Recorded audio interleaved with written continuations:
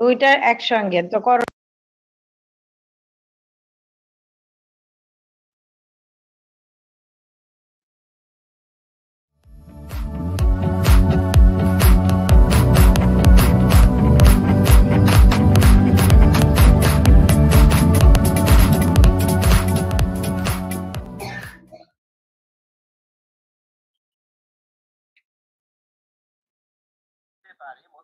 Let's start. Assalamu alaikum and good evening. Today is 4th February, World Cancer Day. The theme of this day is the Close the Care Gap this year. More than one third of the cancer cases can be prevented. Another one third can be cured if detected early and treated properly. Early detection and screening and the diagnosis are crucial for that.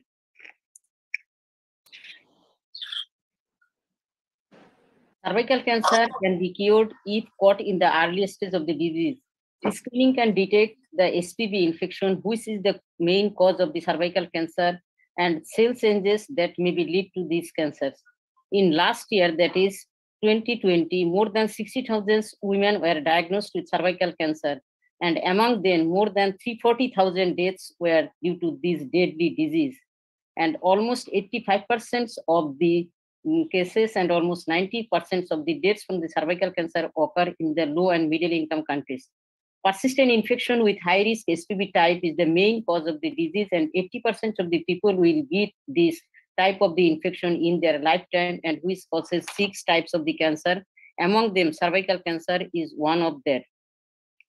HPV vaccine can protect against this deadly disease and it can be affected treated it, if it is treated early uh, stage of the disease and regular screening can be done. Such type of disease can be prevented. And it is the most preventable because and it is the treatable type of cancer. In this the uh, more than 340000 deaths the more than 80% are in the low and middle income countries and the cause of their death is due to the less the access to the screening and to the treatment and so we all have to the so we all have to the access to this and our goal should be in there the first session is is the inaugural sessions and it will be the the session of the chairperson of the first session is professor t s Chowdhury sir and our professor t s Chowdhury sir and also the SAFO president the Professor P. Sir, see, sir is the president, Gyne Oncology Society of Bangladesh, and sir is the gynecologist and infertility specialist. Sir is the past director, IPGMR, and he has the affiliation in BIRDEM General Hospital and Ibrahim Medical College Hospital. And sir got the Independent Day Award in Medicine in 2017. And another chairperson of today's session is the SAFO president, that is Dr. Rohana Haththotuwa, and he is the chair committee on the menstrual disorder FIGO, former Secretary General Asia Oceania Federation of Obstetric and Gynecology, and he is also the chair of the Ninewells Care Mother and Baby Hospital, Colombo, Sri Lanka. And moderator of this session is Dr. Farhana Kalam and Dr. Dr. Farhana Kalam, he is the gynae oncologist from National Institute of Cancer Research and Hospital. And another, the moderator is Dr. Farhana Hawk. He is also the student in gynae oncology National Institute of Cancer Research and Hospital. The over to you. The first session will be moderated Dr. Farhana Hawk. Over to you, Dr. Farhana Hawk, please.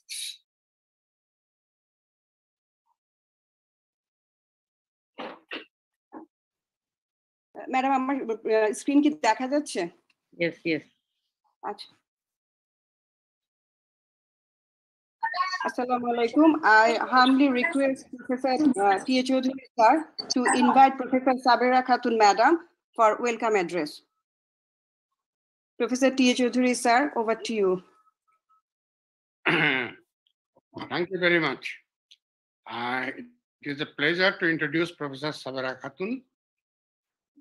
She actually in Bangladesh, she does not require any introduction in the field of oncology. She was the chairperson of the Department of Oncology in Bangabandhu Medical University. And all along, she has been trying to establish cancer studies as an academic exercise and has been able to introduce the FCPS course in oncology subspecialty in Bangladesh. She is a very uh, prolific speaker and goes on speaking for almost all the cancer forums and a great advocate for appropriate treatment of cancer patients in this country. So welcome, Professor Sabaraka. Thank you, Chair. Thank you, Chair, for your nice introduction about me. Uh, I think you have said more than that, I, which I reserve. Um, SAFOG Oncology Committee is a committee. The committee persons are working, uh, wants to do something for the prevention of cervical cancer in the SAFOG countries. And with that aim, the, our first CME program was held in 17th November. And the theme of that CME was the screening of cervical cancer. And that was the celebration of the launching of cervical elimination of cervical cancer. And after three months, and uh, I was given the responsibility to organize the second CME on the treatment of cervical cancer. And that's why the, the today's CME program on the elimination of cervical cancer by 2030, not beyond us. And in this CME, we will talk about the, the speakers will talk about the treatment of cervical cancer. And I, well, I uh, I'm very uh, delighted to uh, welcome Professor T.S. Ozi sir. He is the past president of SAFOG and the present president of Gynecological Oncology Society of Bangladesh, and Dr. Rohana Haththotuwa, he is the president of SAFOG. My heartiest welcome to you, sir. And I also welcome to Dr. Alyia Aziz, he, she is the chairperson of the SAFOG Oncology Committee, and Professor Rowshan Ara Begum is the past president of OGSB. Now, I would like to welcome the chairpersons of the CME program. And the, in this CME program, there are four scientific sessions. The chairpersons of these sessions are Dr. Bhagyalaxmi Nayak, she is the co-chair of the SAFOG Oncology Committee and Professor Shirin Akter Begum, Professor Gynecological Oncology Department of Bangabandhu Sheikh Mujib Medical University, Dhaka, Professor Rubina Sohail.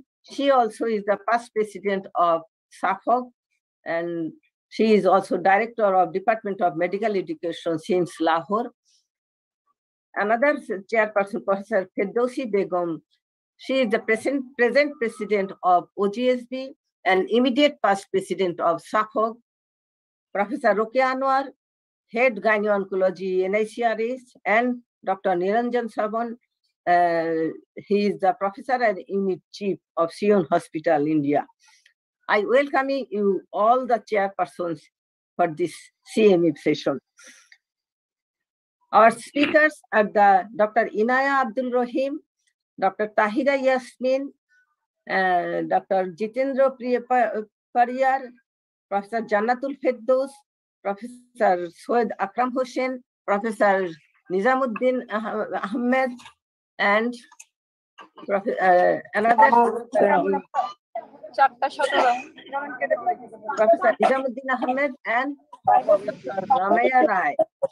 I welcome you mm, all the speakers in this CME program. Our panelists in this session, in the CME program, are the learned panelists are Dr. Samanthi Premaratne, from, he is from Sri Lanka, Dr. Niranjan Chavan, he is from India, and Dr. Ugyen Tshomo, and he is from uh, Nepal. Dr. Namkha Dorji, he is also from, uh, she, he is also from Bhutan. Dr. Ugyen and Namkha Dorji both of them are from Bhutan. And Dr. Kirtipal Subedi and Professor Shahana Pervin. I welcome you, all the learned panelists in this CME session. I, my respectful, uh, respectful welcome to you all. And I also like to welcome to the moderator of this session, Professor uh, Dr. Rifat Ara, Dr. Farhana Kalam, and I want to welcome also Professor Fawzia Hossain, who is the professor of the Gynecology Department of Bangabandhu Sheikh Mujib Medical University. Welcome all the participants and the, all the chairpersons, speakers, moderators, coordinators, all of them. I welcome you all in this session. I respect you all to start the session. Thank you very much. Thank you, madam, for your nice speech.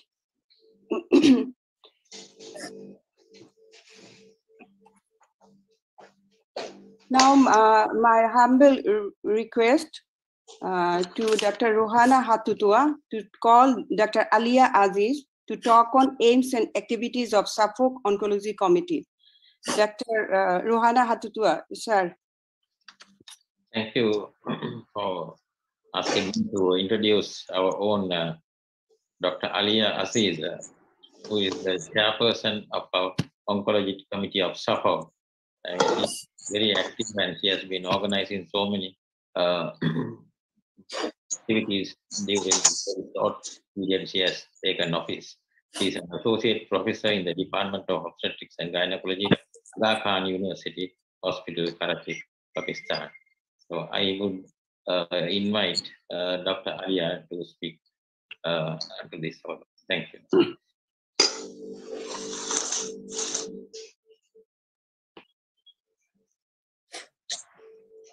Uh, thank you, Professor Rohana, for your kind introduction. Can you all see the slide share? Yes, yes, we can see. All right. Uh, so, um, thank you, Professor Sabera, for arranging this uh, important webinar on the World Cancer Day. Uh, Oncology Committee uh, is a very active committee, as Professor Rohana said, and we are working under the guidance of Professor Rohana um, I have uh, the co-chair uh, from India, Dr. Bhagyalaxmi Nayak, and we have representatives, uh, Dr. Niranjan, Dr. Tairar, Professor Sabera Khatun, Kirtipal Subedi, Chintana uh, from Sri Lanka, Inaya, and Dr. Eugene from Bhutan. So we have representatives from uh, almost all CEPHA countries, except Afghanistan, which uh, is under the water so, uh, cancer burden in CEPHA countries is tremendous. Cervical cancer, uh, which is our theme for today's webinar, is the fourth most common cancer in the women worldwide. And in Asia, uh, the highest incidence rate is 58%, and mortality rate is also uh, more than 50%. The challenges faced by CEPHA countries are several. Social-cultural norms, lack of awareness, stigma associated with cervical cancer, lack of access to healthcare facilities, and of course, lack of funds and resources. So CEPHA believes that cervical cancer is a preventable disease with vaccination, screening, and early detection.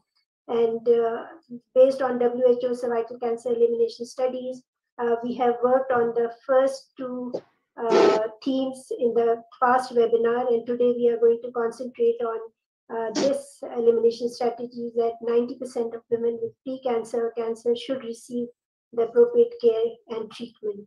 Uh, the activities which uh, the CEPHA Oncology Committee plans is a quarterly webinar. So we have had one and this is our second one. Uh, we also uh, are working on a CEPHA Gynecology Oncology Theoretical uh, virtual course, which will have eight modules, three hours each and uh, it will have defined learning objectives and assessment, and this will be certified by SAFOG after com successful completion. So once this uh, course is ready, we are going to launch it after approval from the executive board. We are also uh, planning on skill development programs, for example, radical hysterectomy, uh, one person from each country should be trained, uh, colposcopy training, uh, escalation of screening programs under the different national programs for non-communicable diseases. And the most important is SAFOG educates HPV vaccine. And we uh, are educating that this vaccine should be included in the national immunization programs of all SAFOG countries. And uh, we are hoping that the country representatives of SAFOG will meet their respective government officials and policymakers to prioritize this initiative. Some SAFOG countries already have this in uh, place, some uh, are still working on it. We are also uh, planning some pre-conference oncology workshops in the National Society symposias. Or so we have one planned for September, uh, one planned for May this year, and one in the AOFG conference in May this year. So hopefully, uh, all these activities and many more in by the respective SAFOG representatives are going to um, make our um, mission or vision accomplished by the end of uh, 2030. Thank you all.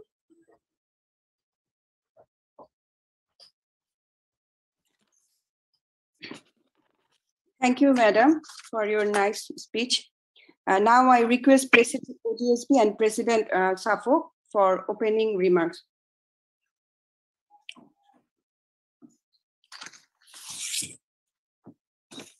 Professor T.H. Chowdhury, sir, and uh, Professor Rohana Haththotuwa. Uh, sir, I uh, request both of you for uh, opening remarks.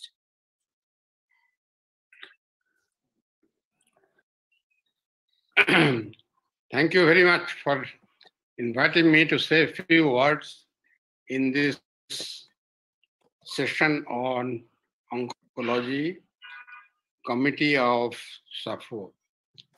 Now, as you all know, this is the uh, Cancer Awareness Day today, and the theme is to narrow the gap between in, in care between rich and poor.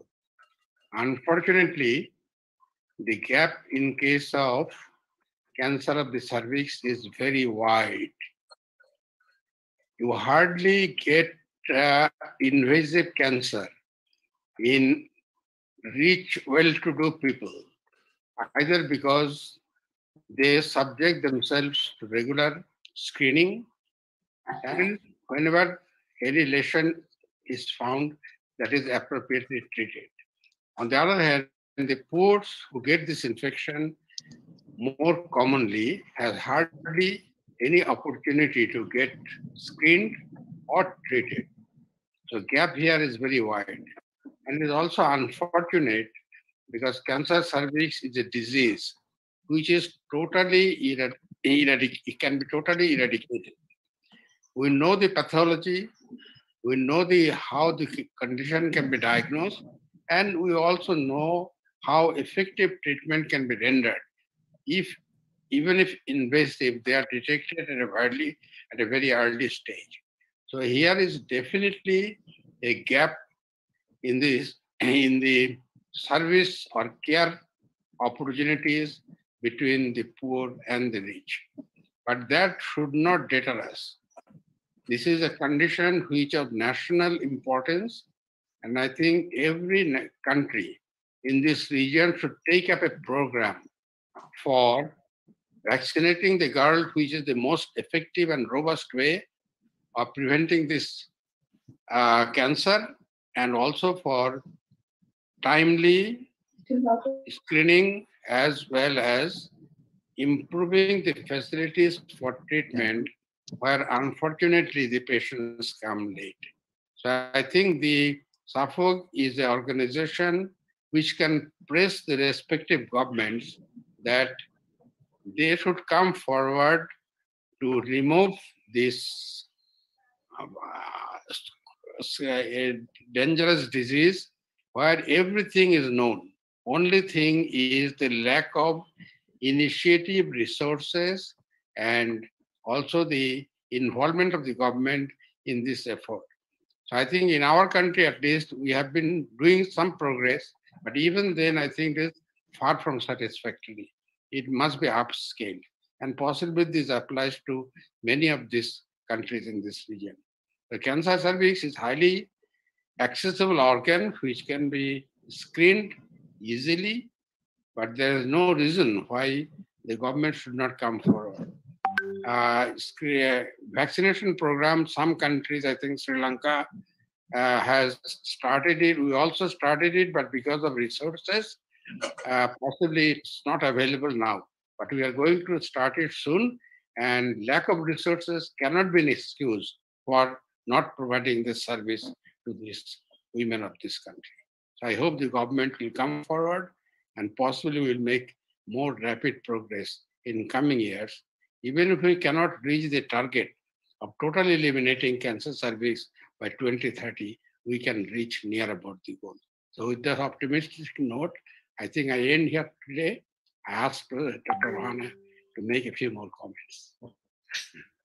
Thank, thank you, Professor Chowdhury. I mean, uh, good evening, everybody. Uh, and uh, I'm, very happy to see Professor Chowdhury uh, yeah, chairing this session because uh, Professor Chowdhury, who is the past president of SAFOG, he is a very active and he is always uh, very supportive of all our programs and is with this valuable advice uh, we, we, we are able to go forward. So we are very thankful to him firstly, and then uh, also Professor Samira Khatun uh, for uh, organizing this uh, webinar in uh, on behalf of our SAFOG Oncology Committee. thank you very much for your help and assistance and for everything you just done. Now, Professor Aziz, our oncology committee chair, and Bhagya Lakshmi, uh, the co-chair of oncology committee. Both are very, very dynamic personalities who have been very active and uh, involved with so many programs in this uh, during this very short time. So, as uh, uh, so, I would like to congratulate Professor Ali and Bhagya Lakshmi it's four o'clock. Organizing this uh, another webinar in a very short time. Uh, this webinar, I suppose, is the continuation of the webinar which was organized by the Oncology Committee along with the WHO, FIGO, A4G, and FOGSI to mark the first anniversary of the WHO Cervical Cancer Elimination Day. Uh, and so today I'm happy that the Bangladesh Society of Oncology is also uh, associated with this program. SAFOG uh, is committed to the call by the WHO to eradicate cervical cancer by 2030 by an accelerated program. And as was mentioned by uh, the cervical cancer and Dr. Alyia also, cervical cancer continues to be a leading cause of uh, leading cause of cancer in these SAFOG countries and contribute to high mortality rates in some of our countries. So, in our countries, there are many issues that have to be attended to with regards to screening, HPV vaccination, early detection, and treatment. Uh, so, we are facing, as Dr. Alyia mentioned, so many challenges and obstacles, uh, so which we have to address and uh, and overcome to achieve our goal. Uh, the mortal, though the mortality due to cervical cancer is greater than the maternal mortality, the attention given to the elimination of cervical cancer has been much less up to recent times. So, SAFOG through the Oncology Committee will work with and assist our, our member countries in the drive to eliminate cervical cancer. by training adenomyosis and uh, uh, so many programs. So, uh, as uh, Dr. Alyia mentioned, so so many activities are planned for the future. So with this, uh, I suppose we may be able to uh, help our own member countries uh, to achieve. So as we believe that no woman should die from cervical cancer, as it is preventable and could be detected early uh, at a, a very pre-cancerous stage and treat. So, so, so it is our responsibility uh, so to uh, to assist this program and to go ahead. I see that today's program will address the issues of diagnosis, surgical, and radiological treatment, and uh, the least discussed but still very important palliative treatment is also being discussed today. So that is very important. Uh, these will be discussed by, uh, I see uh, experts in the field of oncology participating as speakers and panelists. So once again, I thank uh, the chair and the co-chair of the SAFOG Oncology Committee for their untiring work and for organizing this workshop uh, with uh, the Bangladesh uh, uh, Oncology Committee. And I am very certain that this will be very helpful and educative to all of us. I would like to conclude here that with all the best wishes to a successful webinar. Thank you very much. Thank you, sir, Okay. for your nice and valuable uh, uh, talk. Uh, our next sessions are all on uh, scientific session. First session is conducted by Dr. Farhana Kalam. I request Dr. Farhana Kalam to conduct the first session. Thank you, Dr. Farhana Haq. And now it is the time for scientific session, session one, update in staging and imaging of cervical cancer. I would, I would like to invite the chairpersons of this session, Professor Dr. Bhagyalaxmi Nayak ma'am. She is Professor, Department of Gynae Oncology, Regional Cancer Center, Cuttack, and co-chair SAFOG Oncology Committee. And Professor Dr. Shirin Akter Begum Madam. She is Professor, Department of Gynecological Oncology, Bangabandhu Sheikh Mujib Medical University, Dhaka, Bangladesh. Madam, please start the session. And it is handed over to you. Uh, Thank you so much, uh, Dr. Farhana. So with the permission of President Rohana sir and uh, Dr. Chowdhury, I go take ahead the scientific program today. So our first speaker today will be Dr. Inaya.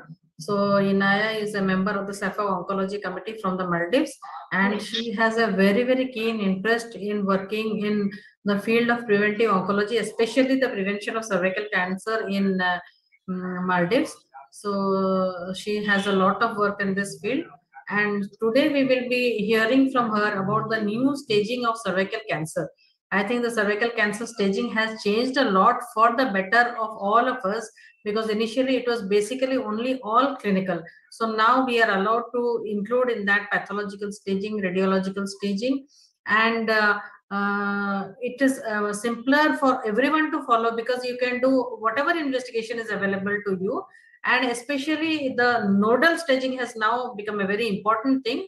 And i think inaya will discuss about that uh, very vividly Uh, so over to inaya dr inaya Hello, everyone. Uh, Thank you, Bhagya Lakshmi ma'am. Uh, Thank you, Prof. Sabera and uh, Prof. Rohana and Prof. Chowdhury, SAFOG and uh, ONG Society of Bangladesh for conducting this CME. I was given the topic of uh, cervical cancer staging, update in the cervical cancer staging. I hope you can see my screen.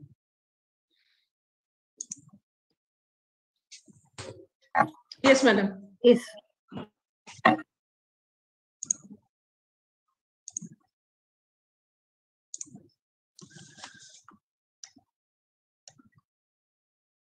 Okay, so um, staging of cervical cancer can um, either be based on uh, TNM classification by American Joint Committee on Cancer on uh, on, can, uh, on cancer, or by FIGO classification. The cervix was the first organ to be assigned a clinical staging system for cancer by FIGO in 1958. Subsequently, the pathologic TNM classification staging followed, which has been used for the purpose of documenting nodal and metastatic disease status. Until 2018, FIGO staging for cervical cancer had been based mainly on clinical examination and often primary tumor stage was underestimated and hence um, uh, treatment was um, maybe under uh, diagnosed. Now, I think uh, now the clinical imaging as well as the pathological has come into the staging. So probably upgrading of the staging will be done. So uh, I have shown in this slide uh, FIGO 2009, uh, 2009 classification. This is the TNM 2020 AJCC classification, which is aligned with the recent 2018 FIGO classification. So FIGO doesn't have the uh, carcinoma in situ anymore. Stage zero is eliminated already. And the revised staging, which is shown here, the horizontal dimension is no longer considered in defining the upper boundary of stage 1A, and it has not been shown to show any impact on survival.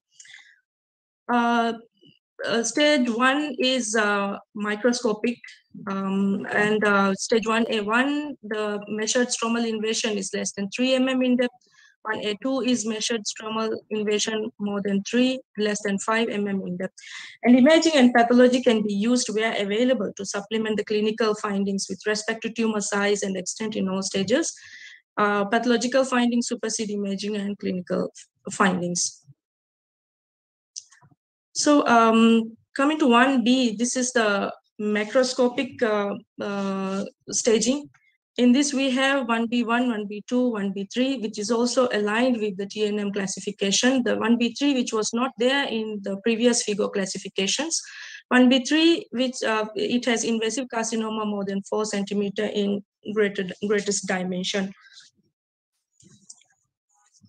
So if the margins of the cone biopsy uh, are positive for invasive cancer, the patient is assigned to stage 1B1. And stage, uh, the, this is the three classifications which is done. The involvement of vascular uh, lymphatic spaces should not change this, should not change the staging and the lateral extension of the lesion is no longer considered.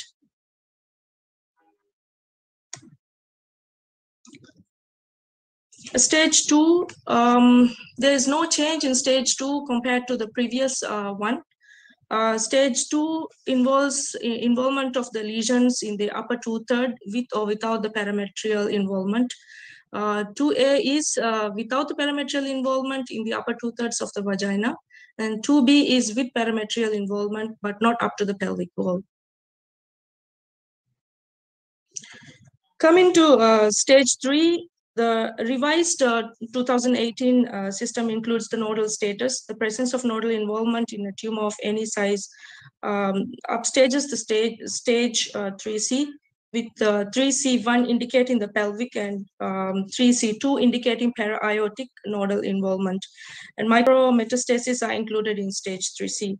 The revised uh, FIGO classification is now more closely aligned with the structure of the TNM classification uh, example, if, uh, and, and, also with this uh, staging, um, uh, we have imaging and pathological.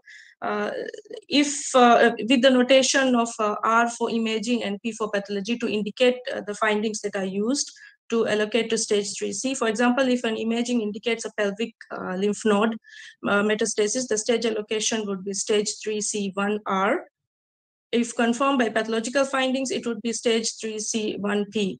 And the type of imaging modality or pathology technique used should always be documented. And when in doubt, the lower staging should be assigned.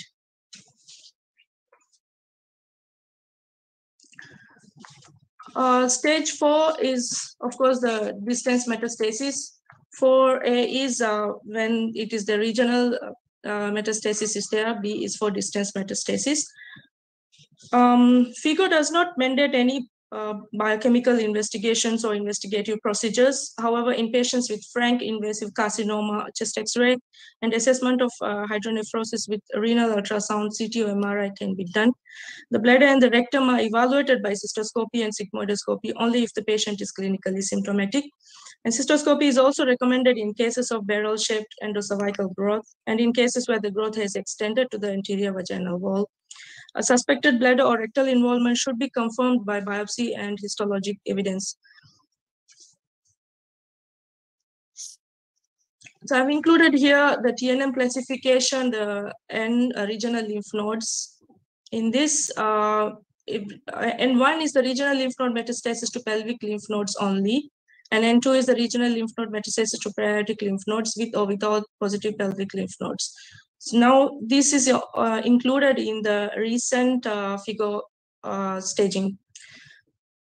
The, the suffix MI is added to the lymph node metastasis if more than 0.2 mm but less than 2 mm. If uh, the suffix SN is uh, added to the metastasis if uh, is identified by sentinel node biopsy. And suffix F is added to the N category when metastasis is identified only by FNAC or by core biopsy. So FIGO and AJCC add the suffix A if the node metastasis is more than 2 mm in size.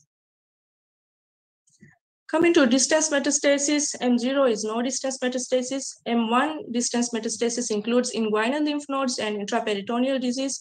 It excludes metastasis to vagina, pelvic serosa, and adnexa. And for clinical metastasis, the prefix C is given, example CM1. And for pathological metastasis, prefix P is given, example PM. So what's the difference between the old and the new FIGO staging? in the old, the stage one, the, horiz the horizontal uh, extension is less than 7 mm is included. Now the horizontal extension is no longer considered. Uh, stage 1A, in the old stage 1A and 1B is there. Now stage 1B3 is a new stage category that is added, that is more than 4 centimeter in greatest dimension. In the old stage 3A, 3B is there. Now stage 3 is newly added with alignment with TNM classification. Now C1 is pelvic pelvic lymph node involvement. C2 is the para-aortic lymph, uh, lymph node involvement. Uh, in the old staging, it's based on clinical findings. It does not allow imaging, uh, pathology, or minimally invasive surgeries. New FIGO staging allows imaging uh, by, by USG, MRI, CT, PET scans, uh, X-rays, and uh, pathological findings uh, with FNAC or core biopsies. And we, with minimally invasive surgeries can be done via laparoscopy or laparotomy to note the involvement of the lymph nodes and distance metastasis. With that, uh, I come to the end. I hope uh, I have uh, shown the difference between the old and the new uh, FIGO guidelines, staging guidelines. Thank you.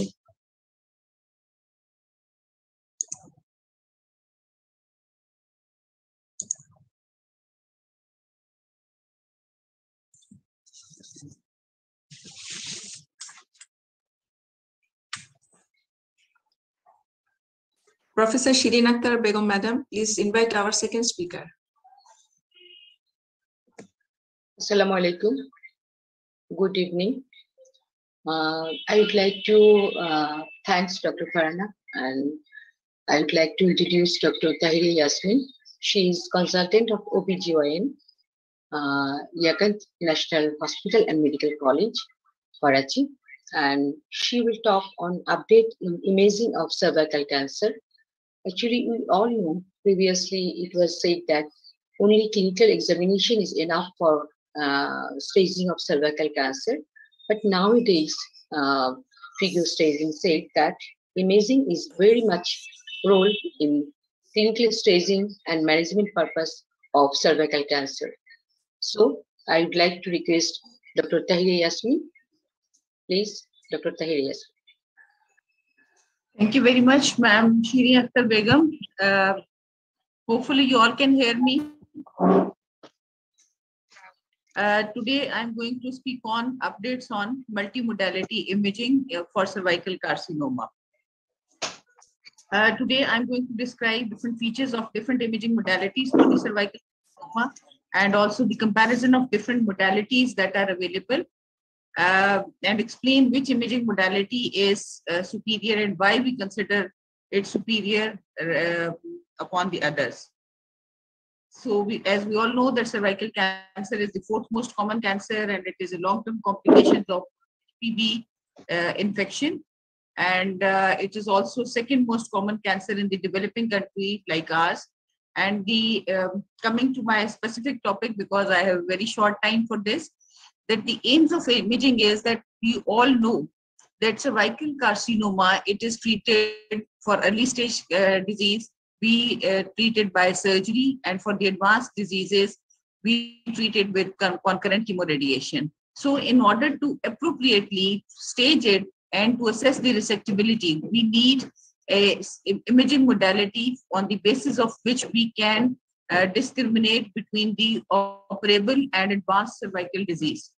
Secondly, we can also evaluate the tumor response to therapy if patient is subjected to concurrent chemoradiation on the basis of the advanced cervical disease.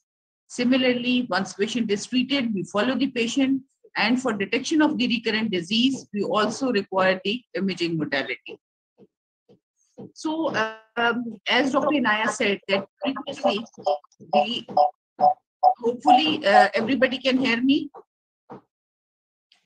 Previously, cervical cancer staging was based on the clinical assessment, but now the new FIGO staging system, they have incorporated few things like the tumor size and the lymph node metastasis, for which we now do the clinical assessment and also uh, do the radiological assessment on based on it, we stage the patient and then we uh, decide the line of management.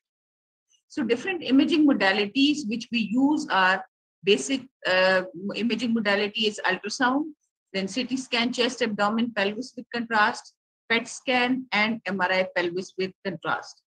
These are the four imaging modalities which we commonly use in our clinical practice in case of cervical carcinoma. On the basis of once a patient presents with uh, cervical mass or some history, the basic investigation is ultrasound on the basis of which we can see that we can there can be a hypoechoic heterogeneous mass that is involving the cervix and there may also be increased vascularity on the color Doppler which indicates that there, there are high chances of malignancy there. And if the patient is with the advanced stage uh, disease, hydronephrosis can also be picked up on the ultrasound KUB. We can also assess the size of the tumor, if it is less than 4 centimeter, more than 4 centimeters, parametrial invasion, tumor invasion into vagina, and tumor invasion into the adjacent organs, and we can correlate with the clinical findings.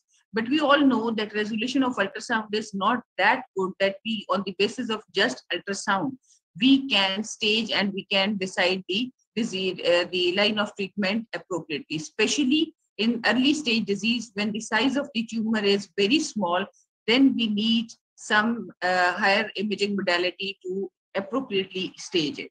So the next modality which we commonly use is CT scan uh, pelvis, chest abdomen pelvis with uh, contrast.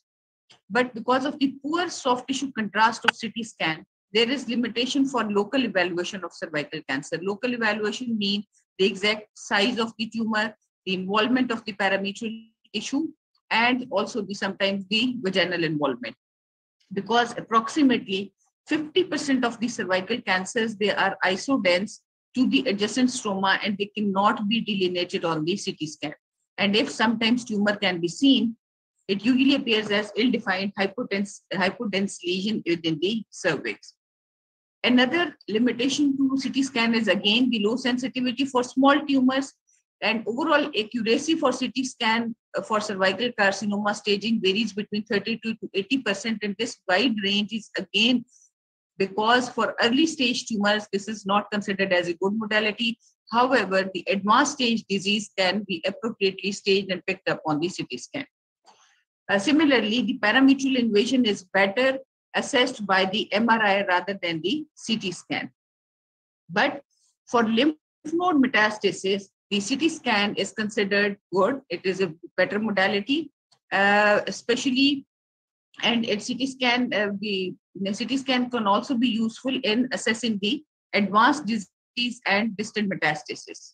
So we perform CT scan in order to assess the lymphadenopathy, pelvic as well as para-aortic, and also in defining the advanced disease, then monitoring the distant metastasis, planning the placement of radiation ports if we have decided on the basis of our imaging and uh, clinical assessment that we have to go, uh, we have to send this patient for uh, concurrent chemoradiation.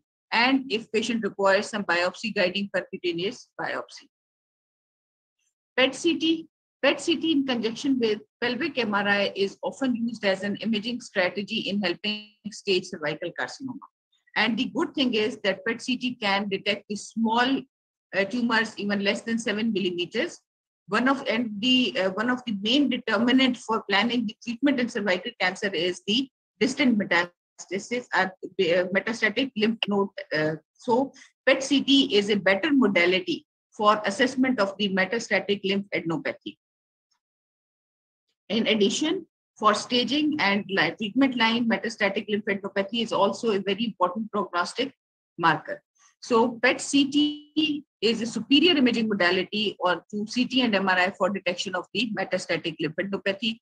And the good thing is that it can also pick these small lymph nodes if they are positive with the disease. Now, the next uh, imaging modality is magnetic resonance imaging MRI, which we consider it that it is superior to the other imaging modalities. Therefore, I'm going to discuss in detail that why we consider this as a superior imaging modality for cervical uh, diseases. MRI provides anatomic differentiation and for specifically cervical carcinoma, we, inj we inject the 30 ml vaginal gel so that the vagina gets distended and we can have the better assessment of the vaginal involvement and we can also have the better delineation of the tumor in the vagina. And it also helps in the radiation treatment planning. So MRI is considered to be superior to CT and clinical examination in determining the tumor size because as Dr. Inaya said that now in the new FIGO staging system, less than 4 centimeter disease is considered as 1B2 and more than 4 centimeter is 1B3 and the line of the treatment will also change which our further speakers will discuss. So it is very important to clearly identify or measure the tumor size based on the imaging modality.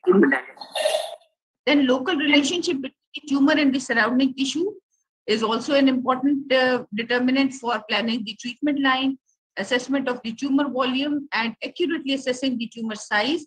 And secondly, the most important thing is that we also need to assess the tumor size once we are uh, going for the fertility preservation surgeries, because if the tumor size is big, if the uh, tumor is involving the internal os, then we cannot offer the patient for fertility preservation and MRI can clearly identify the internal os involvement. Similarly, with the internal os involvement, there are increased chances, increased risk of lymph node metastasis, and MRI has sensitivity of 90 to 98% in detection of internal os involvement. There are different protocols, MRI protocols that are used by the radiologist, like we commonly see are here from the radiological team that this is T1 image, T2 weighted image, uh, T1 contrast image, commonly. And there are different features uh, which are more specific for the radiologist, but commonly our uh, issues are, our queries are more addressed on the T2 weighted contrast images on the basis of which the cervical stroma is as is uh, appeared as the low signal and once it is involved by the disease, then hyperintense uh, lesions will be noted. So uh, based on the MRI, on T2 weighted images, we can easily assess the tumor size because this uh, the moderately hyperintense area is clearly separated from the normal cervical stroma and we can assess the tumor size accurately. But again, microinvasive or superficial diseases are hard to detect on MRI if the disease is less than one centimeter in cases of early stage cervical tumor. So for this, we can use the arterial dynamic contrast enhanced MRIs. And in this, even the small foci of the tumor, they become the enhancing lesions that we can pick up on the MRI. So MRI is highly accurate in assessing the tumor size uh, even within 5 millimeter in 90% of the patients. Then tumor size is an important prognostic factor for early stage cancers. Large tumor sizes are associated with high incidence of extrauterine and nodal involvement. Similarly, for 1B3 uh, diseases, if the tumor size is more than 4 centimeter, the line of treatment will change to concurrent chemoradiation. Similarly, if the size of tumor is more than 4 centimeter, we cannot offer the patient fertility sparing surgery. So the size assessment is important determinant for line of management. So we all can see that this is a large tumor that is the cervical tumor that is seen on the T2 weighted images and this is showing a bulky cervical mass and this is also involving the internal os. And pre-treatment MRI has a good precision to indicate the tumor size because the eh, after the surgery, Obviously, we take out the bulk of the tumor, we cannot assess. Similarly, if patient is subjected to concurrent chemoradiation, the size will regress and we cannot assess the uh, size of the tumor based on the post-treatment. So pre-treatment MRI has good precision. So we should always do the baseline imaging before we are taking the patient for any type of treatment.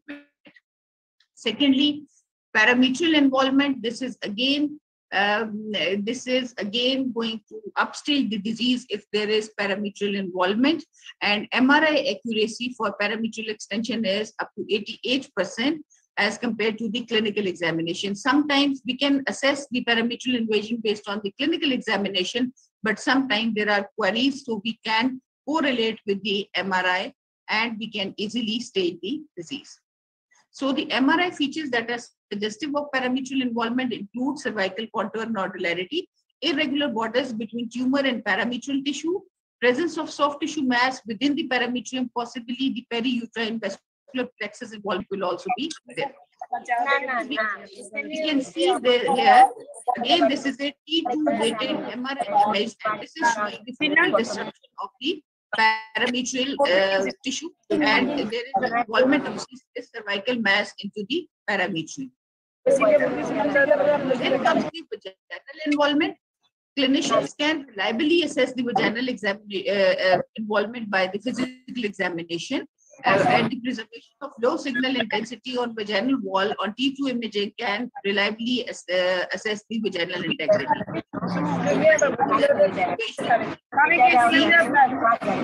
vaginal invasion cannot be assessed accurately. False positive involvement can be seen because of the exophytic tumor.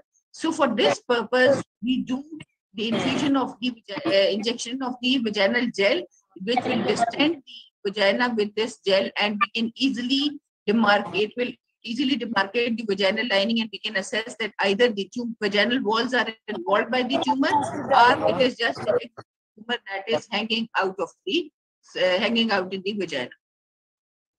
Again, this is the T2 weighted sagittal section showing the mass that is involving the interior vaginal wall. Then uh, the next uh, feature is internal os involvement. It is again a very important and crucial uh, determinant for the planning of the fertility sparing surgery because it is internal os involvement. We can plan for the fertility sparing surgery based on the this tumor-free margin to the internal os and it is not accessible on the clinical examination. And the MRI can clearly give us the involvement of the internal os and we can plan for the line of management and it is again a poor prognostic factor for cervical cancer because it is associated with the distant nodal metastasis. And MRI is safe with the high sensitivity of 86 to 91%. So again, this is showing T2 weighted imaging. This is showing a large mass that is involving the internal os. Then nodal metastasis. Lymph node metastasis is an important factor, independent uh, prognostic factor for the patient with cervical cancer. And now, as Dr. Inaya said, that the nodal metastasis is also included in the FIGO staging. With the pelvic lymph node involvement, the stage uh, 3B uh, is 3B1, uh, and for the para-aortic 3B2 disease stages uh, done. So metastatic lymph node involvement should be clearly identified on the imaging modality before we are planning for the any line of treatment, either surgery or concurrent chemoradiation. Uh, and the size, uh, the size more than one centimeter is the main cross-sectional imaging criteria for determining the metastatic nodal, uh, metastatic lymph nodes. Micrometastasis cannot be reliably detected even with the fundamental techniques, as I said, dynamic contrast imaging, or with any other type of the enhanced uh, MRI techniques, we cannot pick up the micrometastasis. Similarly, MRI cannot discriminate between enlarged inflammatory lymph nodes or the metastatic lymph nodes. Therefore, PET CT scan has highest diagnostic performance for detecting the metastatic lymph nodes in cervical cancer patient, and even it can pick up the nodal mets of less than 5 millimeter. And this is again, this is the T2 weighted MRI uh, image which is showing the nodal metastasis, but this is showing because these are the larger lymph nodes. But if for the smaller lymph node, uh, micrometastasis MRI is not considered as a good modality. Then pelvic wall involvement or the adjacent organ involvement can also be diagnosed or the MRI. Similarly, presence of hydronephrosis, hydroureter for stage PB can also be uh, picked on the uh, MRI. Local extension of the tumor into the bladder can also be evaluated with, with the MRI. However, for stage four, mucosal invasion of the bladder should be identified when it carries the significant prognosis value. So MRI finding that suggests the bladder invasion are nodular irregular bladder wall tumor protruding into the bladder lumen are high signal intensity or to the of the interior aspect of the posterior wall of the bladder. Similarly, vesicovaginal fistulas can also be uh, diagnosed on the MRI. Uh, now, this is the large uh, mass, cervical mass that is extending up to the pelvic side wall on the right side and a heterogeneous mass that is consistent with the peritoneal implant is also seen on the left side of the urinary bladder. This picture is showing the vesicovaginal fistula in cases of the cervical tumor. Now, distant metastasis, as we all know that cervical cancer can metastasize to lungs, liver, and into the bones. So we can, for early stage cancers, we can also do the chest X-ray, but obviously chest X-ray can miss the small uh, distant metastasis. So for this, we do perform CT scan chest and it, CT scan chest is a good predictor of the distant metastasis even in the cervical carcinoma. Similarly, if on MRI or CT scan, bony mets are noted, we can pick up on MRI with good um, uh, specificity, but we can also uh, offer bone scan if the uh, multiple bone metastases are noted. So this is showing the uh, metastasis in the liver and the falciform ligament PET MRI is a new hybrid imaging method and may have the potential of imaging performance rate for detection of small cervical cancer. But yet, uh, more data is needed to establish the clinical implementation of the PET MRI. But this with PET MRI, we can pick up the small cervical cancer disease and even the small size lymph nodes for better um, uh, staging purpose. Now, this is the comparison, whatever I have said that uh, we can compare the CT scan and MRI finding. And again, this chart is showing that again, the MRI is a better modality in terms of local invasion of the disease, in terms of uh, pelvic side wall extension and vaginal involvement. So in conclusion, that clinical staging of cervical cancer cannot replace by the cross-sectional imaging for various reasons. But we can, imaging plays a major role in treatment planning as, and also in the as a prognostic indicator in the patient with cervical cancer. And with the new FIGO staging, we require the imaging modalities to appropriately stage and to decide for the line of the uh, treatment because as we all know that the first treatment is going to decide the prognosis of the cervical cancer even at any stage. MRI and PET CT have complementary roles and MRI is essential for staging of the primary tumor. PET CT is the most useful modality for detecting the regional nodal metastasis. Uh, and now PET MRI yet needs more uh, research for it. Thank you very much. If anybody have any question.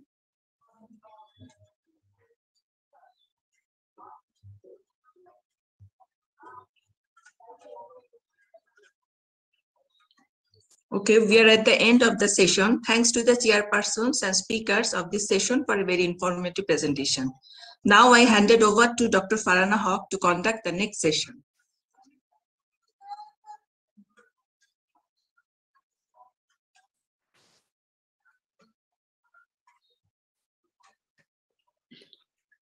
Thank you, Dr. Farhana Kalam. Uh, our uh, second session on surgical treatment of cervical cancer. These sessions are chaired by Professor Rubina Sohail, Professor Obstetric and Gynecology, Director, Department of Medical Education, SIMS Lahore, immediate past president, SAFOG. And uh, uh, another uh, chairperson is uh, our respected Professor Ferdousi Begum Madam. She is current president OGSB and immediate past president South Asian Federation of Obstetrics and Gynecology.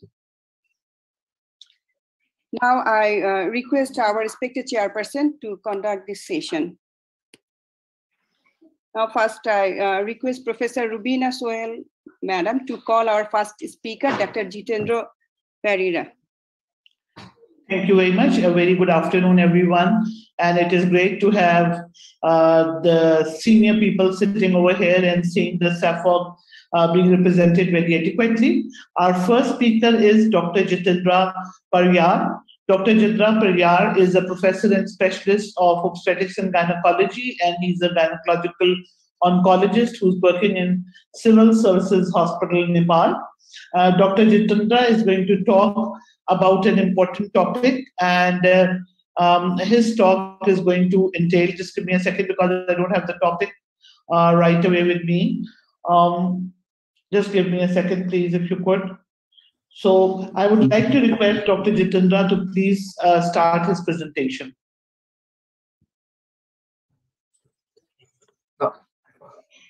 Dr. Jitendra? Yeah. Yes, ma'am. Uh, thank, thank you, Madam Chairpersons. Uh, thank you for uh, the kind introduction. And I bring greetings from Nepal. And I'm here to talk on diagnosis and treatment of microinvasive cervical cancer. Is my screen visible? Yes, yes. Yes, so please make it slideshow. Yeah, thank you. Yes.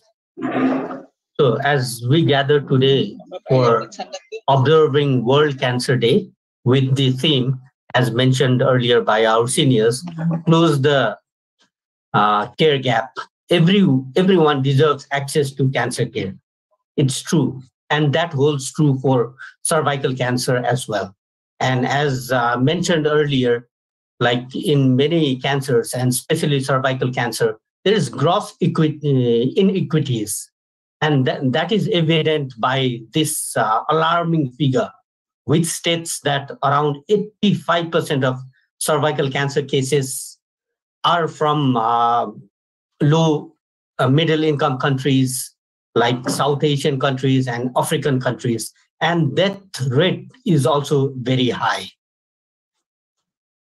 And it's very sad to know that uh, our cervical cancer screening coverage, population-based coverage is uh, very low. Like in South Asia, Bhutan has done fairly good, but many countries like Nepal, India, Bangladesh, I think we need to do a lot. And talking about cervical cancer, we know that the cause, of course, is human papilloma virus, and it is associated with uh, sexual act- activities and uh, sexual practices, which are the other additional risk factors. Cervical cancer, squamous cell, uh, squamous cell carcinoma is the commonest uh, histopathological uh, entity, uh, contributing to around 70 to 80%, adenocarcinoma being another one, and others like uh, adenosquamous cell and others. Diagnosis of cervical cancer should be pretty easy because we have had this screening test for almost more than 100 years. And uh, cervical biopsy is a very simple procedure. And as mentioned earlier, cervix is a visible uh, part of uh, uterus, uh, visible to naked eye. So any lesion uh, should be accessible for cervical biopsy, which gives us the diagnosis of cervical cancer.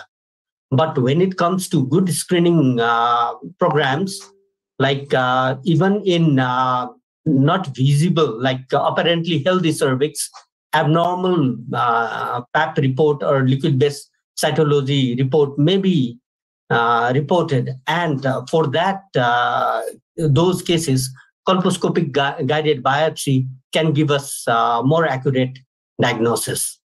And uh, when it comes to larger lesion, uh, cervical conization, and uh, LEEP procedure should also give us the um, confirmed diagnosis. So uh, cervical cancer can should easily be diagnosed by cervical biopsy. Cervical cancer spreads locally around cervix and vagina and parametrium. And of course, lymph, lymph node uh, metastasis is there uh, around pelvic uh, lymph nodes, aortic, uh, before going to distant ones.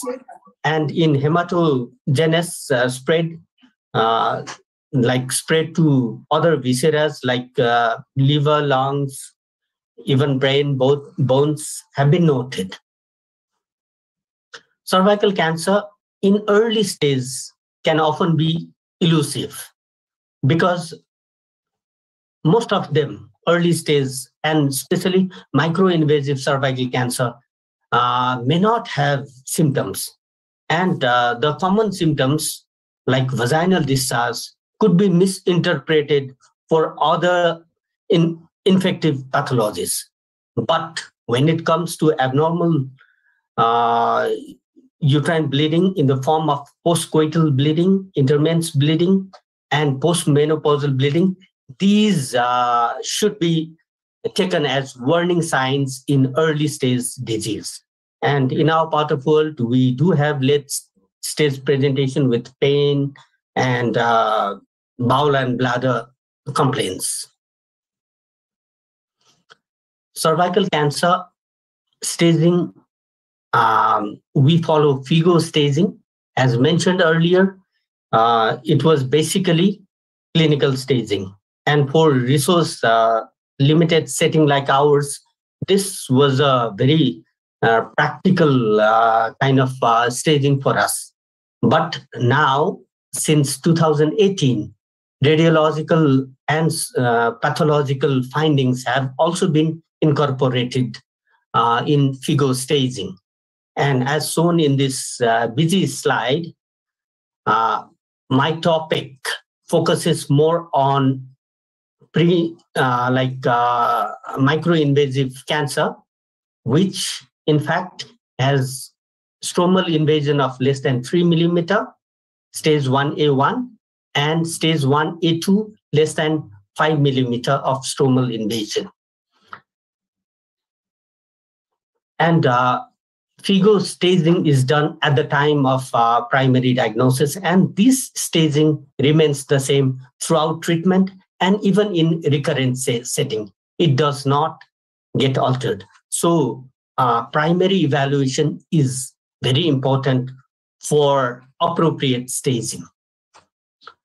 Now, talking about uh, microinvasive cervical cancer, where invasion by the cancerous cells are is less than uh, five millimeter, three less than three or less than five millimeter, and this entity, in fact, is between pre-invasive uh, pathology and frank invasive cancer, and this was initially uh, described by Mestwerdt from uh, Germany, uh, who ha- had done extensive work uh, with colposcopy and application of uh, Lugol's iodine in apparently healthy cervix uh, for screening.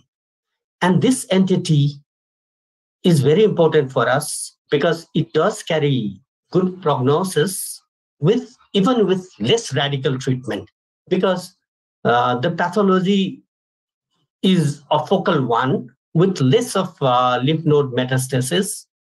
So less radical treatment, of course, means less of morbidity and mortality.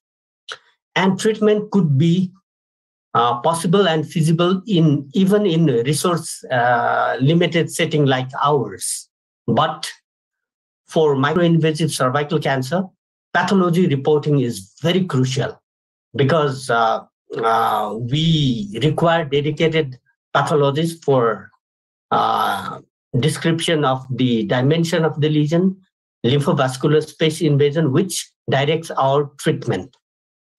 And of course, this entity can be caught up early by good and effective screening program. And as shown here, there is there has been evolution for almost uh, 70 years uh, around this uh, microinvasive cervical can cancer entity. Lymph node met metastasis in cervical cancer is uh, pretty common, commonly reported, and uh, it's one of the most important prognostic factor. However, when it comes to microinvasive cervical cancer, lymph node metastasis is very less. Like in stage 1A1 disease, less than 1%, and 1A2 disease, less than 5%. And uh, it has been noted that size of the tumor or the tumor volume correlates with uh, lymph node metastasis. And uh, lymph node metastasis can be caught up by dedicated ultrasound of uh, abdomen pelvis, CT scan, or even MRI. And PET scan is, of course, very useful. So with this additional information, uh, there has been revision in FIGO staging 2018, which has incorporated radiological finding. And when it comes to lymph node assessment, of course, gold standard is the surgical staging, that is pathology, uh, giving us the diagnosis of whether lymph node involvement is there or not. Another issue uh, when talking about treatment of uh, cervical cancer, because radi radical uh, surgery means extent of parametrium that is uh, removed. But it is noted that parametrial invasion in uh, my, microinvasive cervical cancer is very rare. And that, that is also true for early stage disease, as uh, reported in a large scale review by uh, Professor uh, Kathleen Schmeler from USA. Like uh, they reviewed almost 1,100 cases uh, of uh, early stage cervical cancer. And it was noted that only less than 1% of them had uh, parametrial invasion. So uh, their conclusion was that uh, could less radical treatment be offered to these early stage disease or microinvasive disease? Uh, again, Professor Kathleen has uh, uh, reported uh, another uh, finding from their study, con ConCerv study, which was a prospective trial of conservative surgery being offered for early stage disease. And it was noted that recurrence rate was very less, around 3.5%. And the lymph node metastasis was also noted to be very less, around 5% only. So they, they came to a conclusion uh, and uh, uh, saying that could uh, less radical uh, or could conservative surgery be offered to early stage disease or even my, microinvasive cervical cancer? With these findings, we can outline the treatment uh, for microinvasive cervical cancer as fertility sparing uh, modality like uh, conization, but it should be made clear that the margins should be negative and preferably they should not be lymphovascular space invasion. And for those who do not require fertility uh, or fertility is not an issue, simple hysterectomy in the form of extrafascial hysterectomy can be offered. And for early stage disease, radical trachelectomy for those requiring fertility sparing can be offered. And for those uh, with uh, lymphovascular space invasion who may carry greater risk of lymph node metastasis, radical hysterectomy with uh, pelvic lymph node dissection should be offered. And for those who are not fit for surgery or there is contraindication for surgical treatment, chemoradiation uh, should be offered. And that is the standard treatment. Regarding fertility sparing uh, treatment for uh, microinvasive and early stage uh, cervical cancer, um, trachelectomy happens to be one of the preferred one, which was introduced by Daniel Dargent. He's from France and he reported his uh, series back in 1994. Whenever a new surgical approach is uh, uh, introduced, we should make sure that the, out, uh, the oncological outcome are equally good and uh, the morbidity and mortality issues should be negligible or less. And when it comes to fertility, of course, uh, take home baby or live birth rate is the benchmark. And for surgery of uh, microinvasive cervical cancer, uh, could extrafascial hysterectomy or simple hysterectomy be a safer, better option? Because we know that uh, radical hysterectomy, which excises the parametrium, is often associated with uh, ureteric injury, bowel and bladder complications, hemorrhagic complications, and uh, both immediate and long-term complications are there. So for microinvasive with uh, the uh, presented evidences for microinvasive cervical cancer, could less radical treatment, simple hysterectomy be adequate?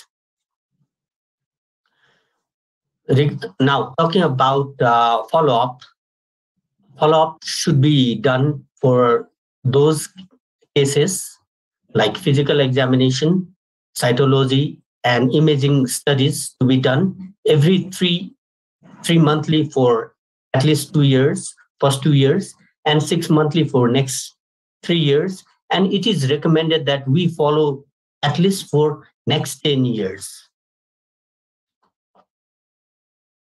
Cervical cancer uh, outcomes is truly rewarding.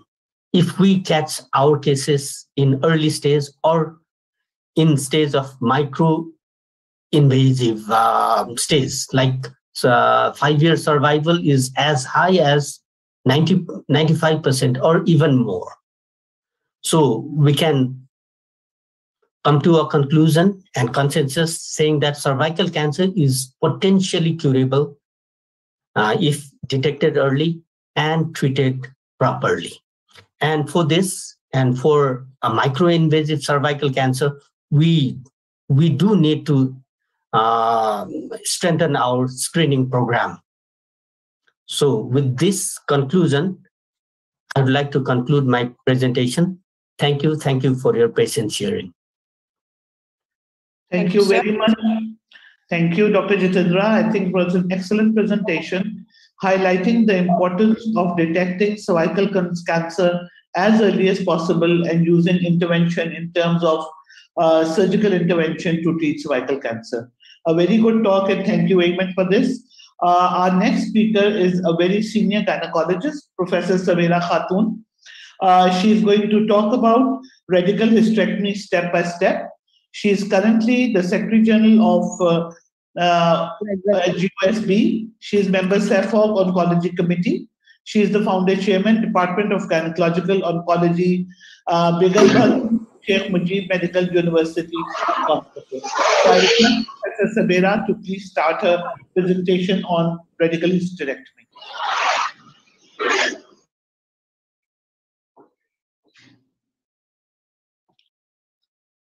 Thank you, uh, Professor Rubina Sohail, for nice introduction about me. Uh, radical hysterectomy for carcinoma cervix, step by step. And in this presentation,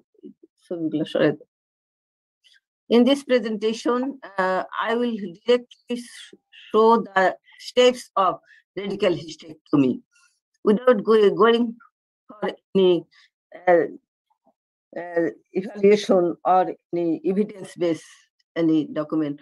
I'll go step, straight forward to step-by-step radical hysterectomy. Now, why the radical hysterectomy? Because earliest and commonest mode of spread of cervical cancer is local spread and surroundings needs to be removed during surgery procedure. And this is done by radical hysterectomy, then only be done by radical hysterectomy. Now, whether all the stages can be treated by radical hysterectomy. Everybody know that the cervical cancer needs treatment by surgery by radical hysterectomy. It's the big question whether all the stages can be treated by radical hysterectomy or whether all the stage, stages needs radical hysterectomy. Answer is no. Now, what are the stages for radical hysterectomy? Now, only the stage 1 2 that is the tumor invasion is one of the microinvasion, that is tumor invasion is only 3 to 5 millimeter. And other invasive diseases, these three can be uh, by surgical procedure, that is radical hysterectomy.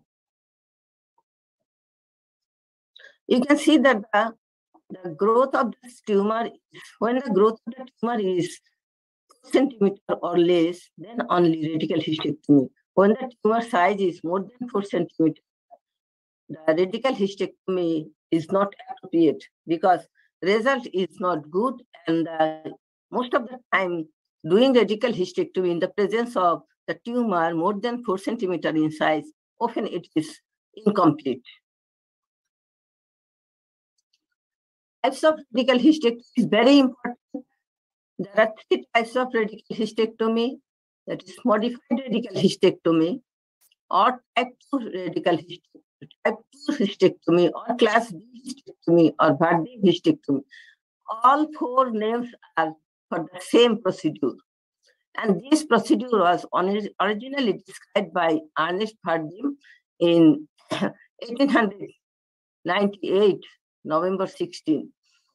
And this is this procedure now it is used and appropriate only for the stage one A2 disease, that is microinvasion. Radical type is radical hysterectomy or type 3 hysterectomy or class 3 hysterectomy. Universally rec recommended for the, the stages of stage on B1, B2 and stage 2 A1 disease. And it was originally described by in 1944. Most of the cases are treated by 3 radical hysterectomy nowadays. And another radical hysterectomy extended radical hysterectomy or type 4 hysterectomy. It is appropriate only for small central, central recurrence after radiation therapy. This hysterectomy, only these two hysterectomies are used mostly uh, this one, number two, and number three, extended hysterectomy nowadays is rarely used because of the very improvement in improvement in the radiation therapy of the patients. Now, this has been shown by Dr. Jitendra. How far radical for the operable cases? How far radical? That is, this is the extra extrafascial hysterectomy, and this is the type 2 radical hysterectomy only for the um, uh, macroinvasion to, to 5 millimeter, and this is the type 3 radical hysterectomy. That is, most of the cases need this type, type radical hysterectomy. Now, additional procedure. Only radical hysterectomy is not treatment for cervical cancer because um, uh, mode of uh, extension of the cervical cancer is lymph node, and uh, uh most of in operable cases, at least 50 to 30 percent cases are lymph nodes are positive histologically. So likely to be metastasized, that is tissue which are likely to be metastasized should be removed during radical hysterectomy. And this is done by bilateral pelvic lymph node dissection. And sometimes bilateral, sometimes most of the time bilateral salpingo is done because most of the patients are more than 40 years of age. But one ovary in young patients, one ovary can be preserved in young women. And in that case, additional procedure is required, that is uh, transposition of the ovary. Now, active states of radical hysterectomy. There are some acts which should be done preoperatively before going for actual states of radical hysterectomy. That is confirmation of the histopathological diagnosis and stage of the disease. This is mandatory. These two things are mandatory before going for radical hysterectomy. And any cervical cancer which is suspicious by inspection must be confirmed by histopathological diagnosis before any surgery. Now, counseling is important part because it's long-term treatment, surgery, radiotherapy, then current chemotherapy. So all the procedures should be counseled with the patient and the family uh, members. Correction of anemia, diabetes, hypertension, and any other comorbidity should be corrected. Prophylactic antibiotic is prophylactic antibiotic to prevent infection because most of the growths are infected and pelvis is infected in this in our socioeconomic condition and as well as by giving antibiotic prevention of infection gives the easy resection of damaged tissue.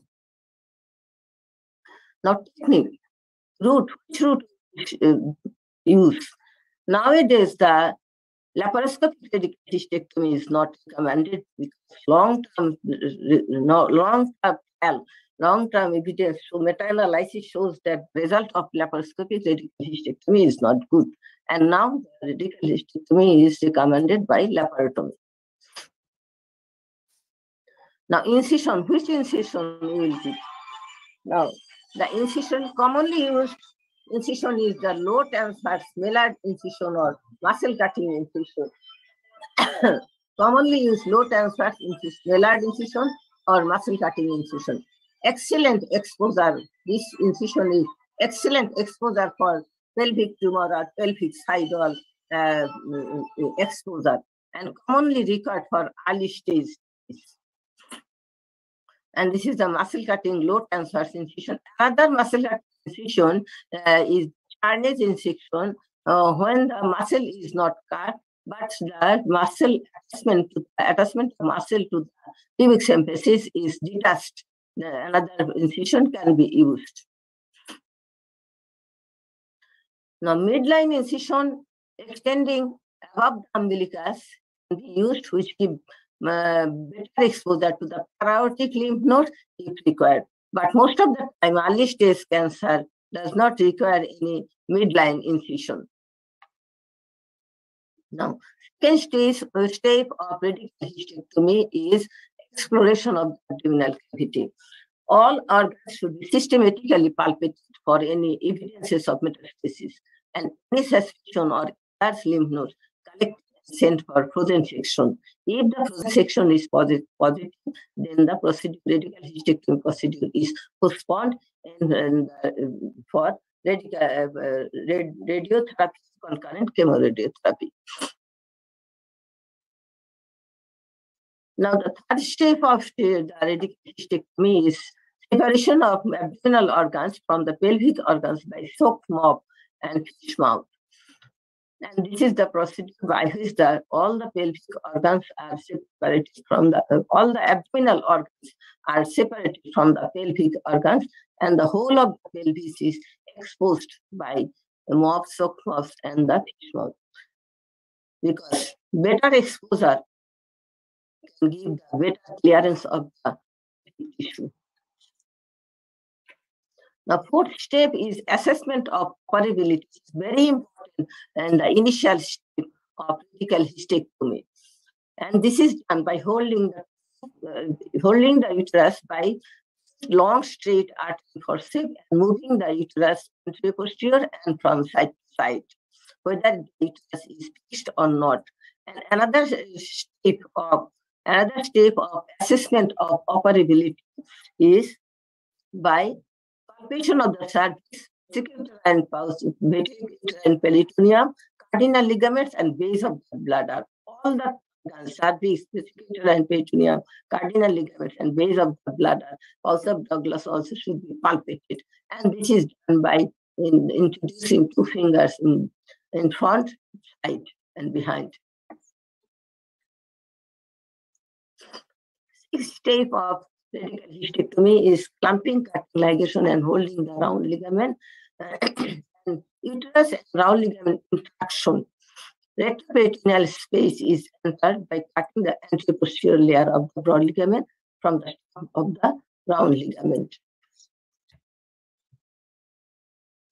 Now, by exposing the retroperitoneal space, we can see the ureter at the pelvic brim. That is, ureter can be identified at the pelvic and the ureter is dissected up to 5 centimeter at this stage of radical hysterectomy.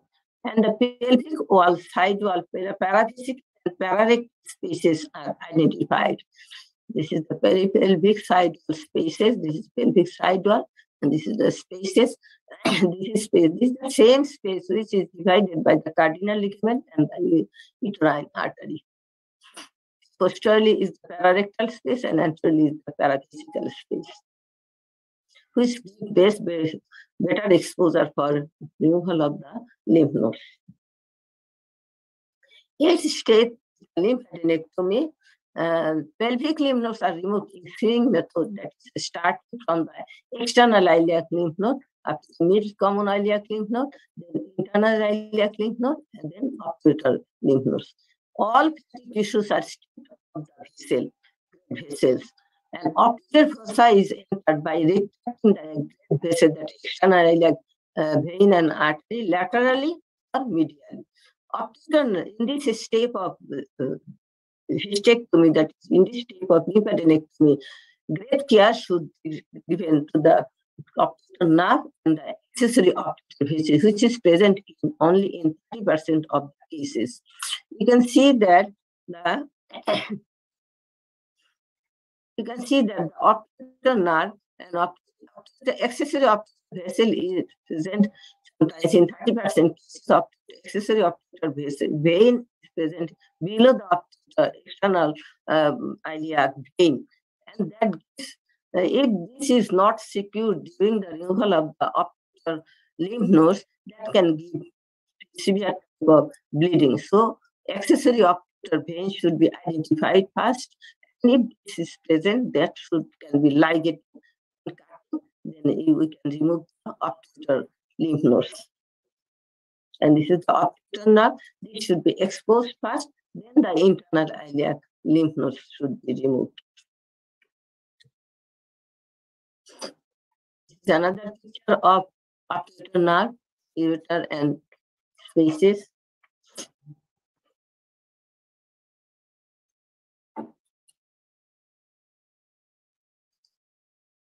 Ninth step is the bladder down dissection. That is, bladder is dissected down by cutting the vesicouterine fold of peritoneum. Here you can see that by cutting the vesicouterine pouch of vesicouterine peritoneum, bladder base is easily identified. And this is taken down by dissection. And care should be taken not to injure the bladder and the side wall. There is insertion of the ureter in this side wall. So bladder should be dissected first and taken down up to the vaginal wall, vaginal wall, before going for any clamping and cut. And this should be done, bladder dissection should be done before ligation of the uterine artery because sometimes the base of the bladder is base of the bladder is infiltrated and that cannot be identified without cystoscopic assessment. So if there is any uh, involvement of the bladder base, in that case, it, is, it will not be possible to dissect down the bladder and the exposure of the antevaginal wall. That it is not possible to the upper vagina. So before the, uh, like the uterine artery, we should take down the bladder. And if the bladder base is involved and it is not possible to take down the bladder wall, bladder base, in that case, the procedure should be postponed in favor of radiotherapy. Now, fifth step of uh, radical hysterectomy is ligation of uterine artery. As ligation of the uterine artery should be done as near its origin from the superior vesical artery as possible in C or type C hysterectomy. And but at its, um, uterine artery is crossing by the ureter in type B or class 2 hysterectomy and internet mobilized over the by gentle traction and dissection.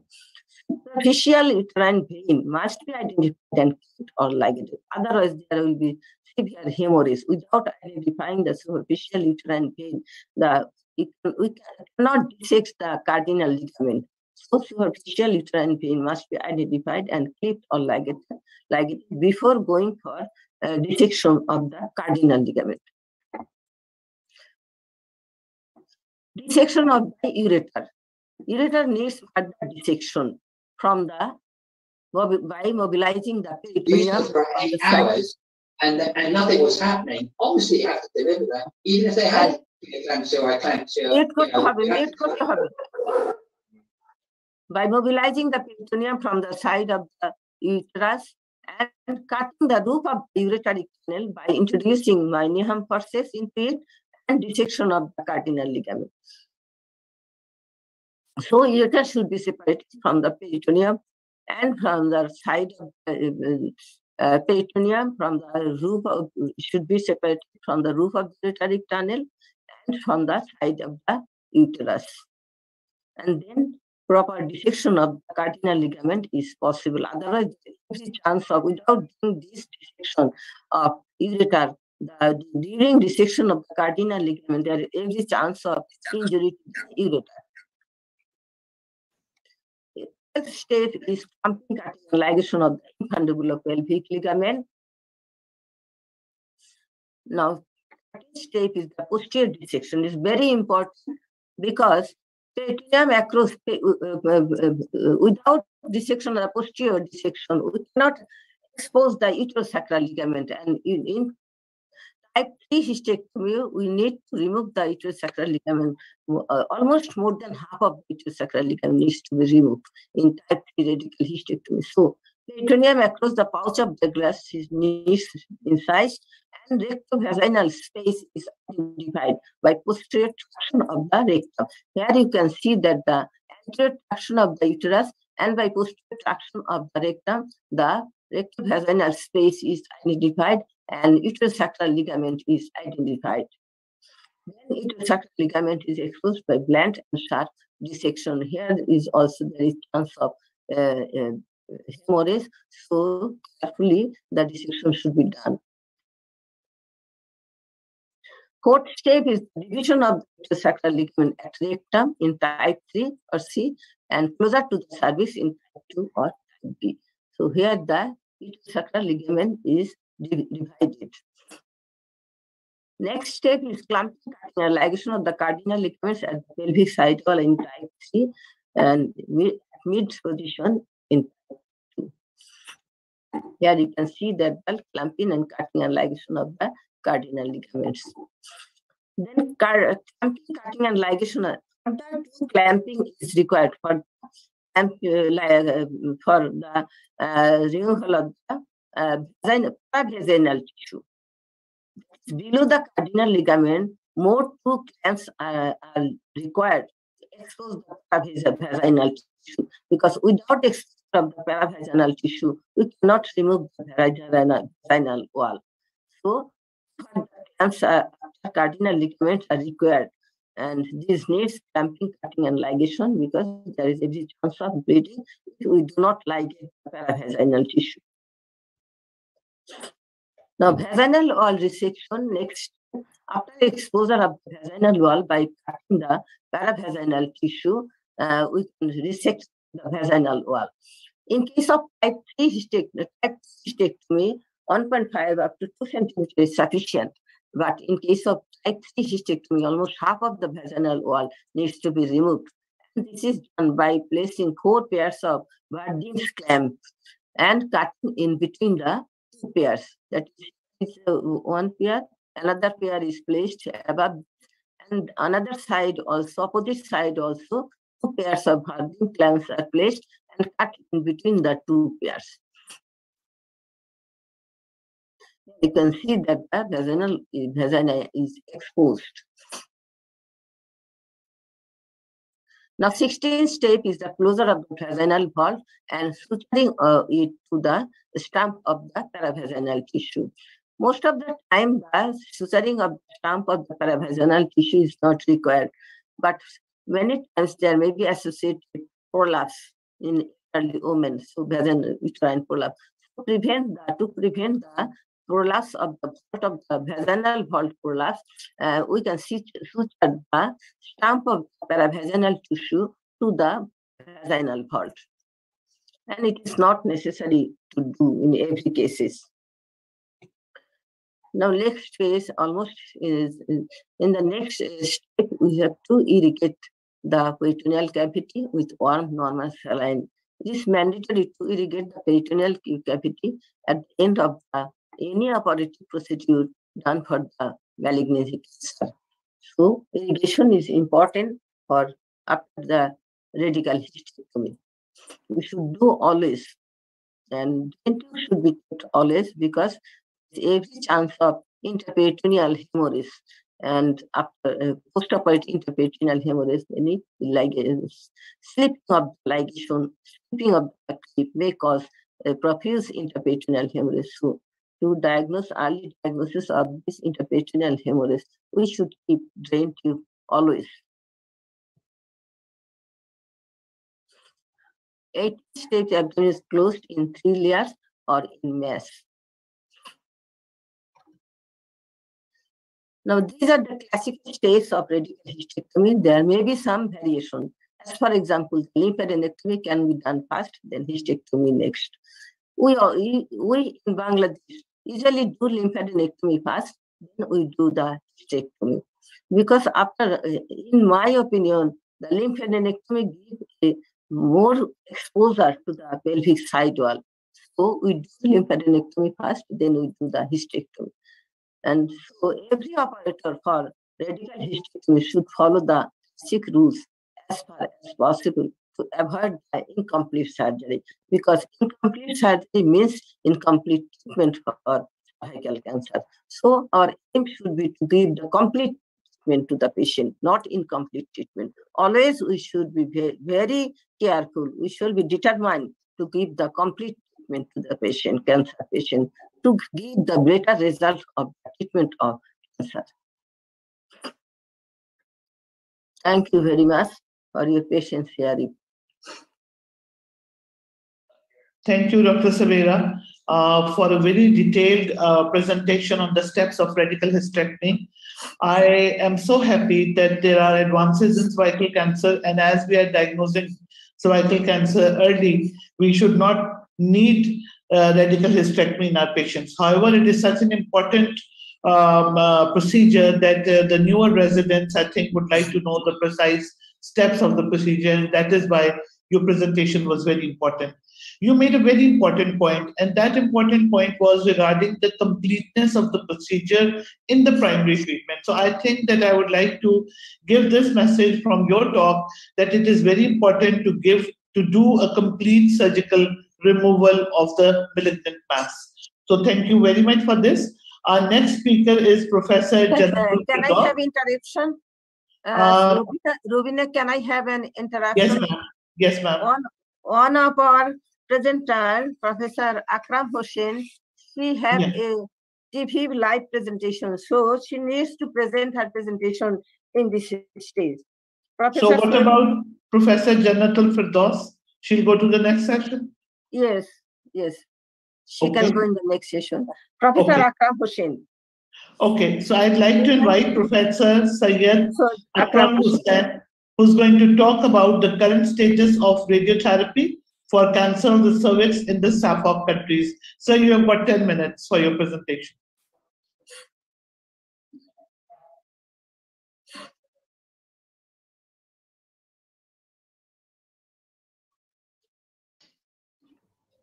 Please make it full screen. Uh, yeah. Can, can you listen to me? I'm audible? Am I Yes, you audible? are. Yes, Okay. you are. Oh, thank you so much. Thank you so much giving me the opportunity. Uh, Thank you so much, uh, SAFOG uh, and uh, and the GOSB and Professor T. Chowdhury and the Honorable Chair. Uh, my presentation is the current status of radiotherapy for the carcinoma cervix in SAFOG countries. I try to finish in a faster way. We know the cancer burden is very high actually uh, throughout the world. In, in 2020 is a 119.2 million and particularly in our region, is increasing 46.6% rate in the cancer by 2020, 2040 in this region. Cancer in uh, low-income countries actually increasing over the time, and particularly 25% of the women of reproductive age die in the cervical cancer from the low resource countries. And Bangladesh situation is also not good. 11.6 uh, in incidence standardized uh, age incidence and mortality is 8.1 per 100,000 women respectively. So death is also in Bangladesh also almost half. So we know that actually the total treatment depends on uh, it uh, on radiotherapy, and it, the outcome of the depends on the prognosis of the disease depends on the staging, early status, tumor volume, depth of cervical stromal invasion, uh, lymphovascular space invasion, histopathology type, and etc. So strategy is simple. Actually, we know the surgery and the pelvic radiotherapy, concurrent chemoradiotherapy, and systemic chemotherapy and brachytherapy. Actually, uh, so this will play a very great role for increasing the survival of the patients. So just skipping, actually, we actually in our countries actually also doing the 3D CRT planning in our country also. In many centers, we have this actually 3D CRT and IMT also we are doing here in the so this actually and at the same time the brachytherapy we are doing the brachytherapy. Brachytherapy is increasing actually overall survival very very important. So chemo radiation therapy we are doing in our country. It's a distribution of the megavoltage units actually in this region actually comparatively lower particularly in whole asia so there are the only 4,400 megavoltage machines in the lower uh, and LMIC and less than 35% of the world's RT facilities. There is shortage of over 5,000 megavoltage machines. But it is recommended that the radiotherapy machine should treat on average up to 500 patients per year. And International Atomic Energy Agency recommended basic RT center starts treatment with the one megavoltage machine and one digital brachytherapy.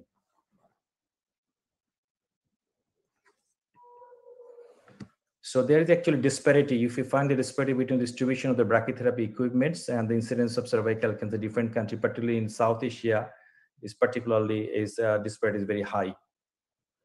So in our country situation is actually we need to we have 160 million population, provides the RT coverage is only 12.9% in this region. This we need actually 320 teletherapy machine and 160 brachytherapy machine to meet these requirements but we have presently 25 teletherapy machines, six brachytherapies, seven simulators. So the situation is also not really good, but the mostly the public-private sectors are having, the private sectors are coming faster. So situation overall, so these are the huge challenges for us. So most LMSA have one machine for the five, 5 million population or above.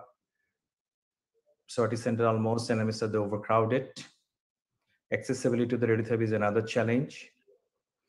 Uh, affordability is also an issue. Other challenging is establish radiotherapy center selection, procurement process, procedures. Finally, as procuring a machine is fruitless without the proper standard understanding of its utilization sufficient workforce to operate it. Thank you. Thank you so much. So thank you. Thank you so much. This is my end of my presentation. Hello. Yes, thank you very much. And uh, uh, it was an excellent presentation, and I'm so glad that you made it in time. Thank you very much, uh, Professor Akram, for doing that. I think uh, because we are running short of time and we are just about in time to conclude the session, I would like to conclude the session by thanking our three speakers who made uh, great contributions today by making uh, very clear and focused presentations which will be of help to the viewers in trying to improve the work that they're doing. So with this, I will declare this session closed and invite the organizers for the next session. Thank you very much. Thank you, Madam. Thanks and respect to our chairpersons and uh, speakers. Our uh, next session is conducted by Dr. Farhana Kalam. I request Dr. Farhana Kalam to conduct this session. Over to you, Dr. Farhana Kalam. Thank you, Dr. Farhana Haq. Now it is the time for session three. In this session, Farhana? our chair. Yes, madam. In this session, first speaker will be Professor Jannatul Ferdous. Okay, madam. Yes. In this session, our chairpersons are Professor Rokeya Begum Madam and Professor Dr. Niranjan Chavan.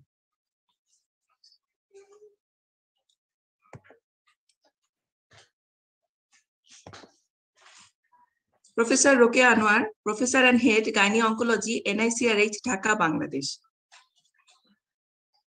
Dr. Niranjan Chavan, Professor and Unit Chief, LTMMC and LTMGH, Sion Hospital, India. Sir and Madam, over to you to conduct the session.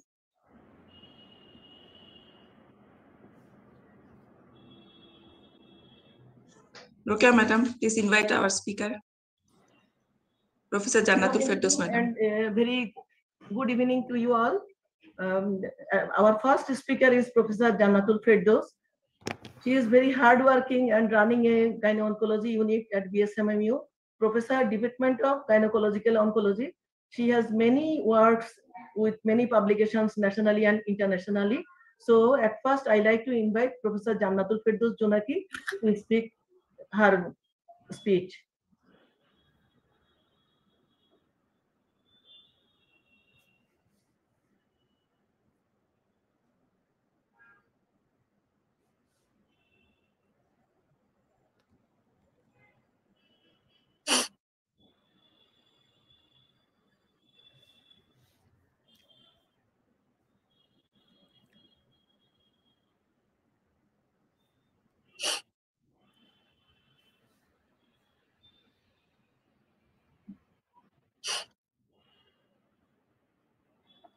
Please unmute. Thank you so much, uh, respected chairpersons, for your kind introductions.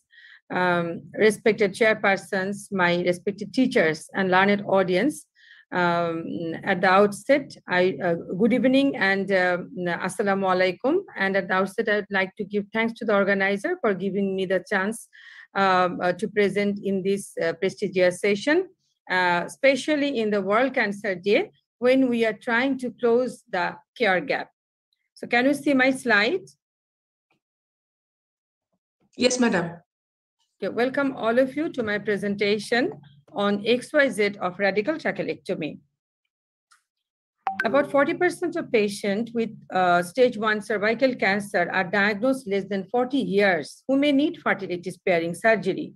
Trachelectomy is one of the procedure for fertility preservation, and it is applicable in selected younger women with early stage cervical cancer.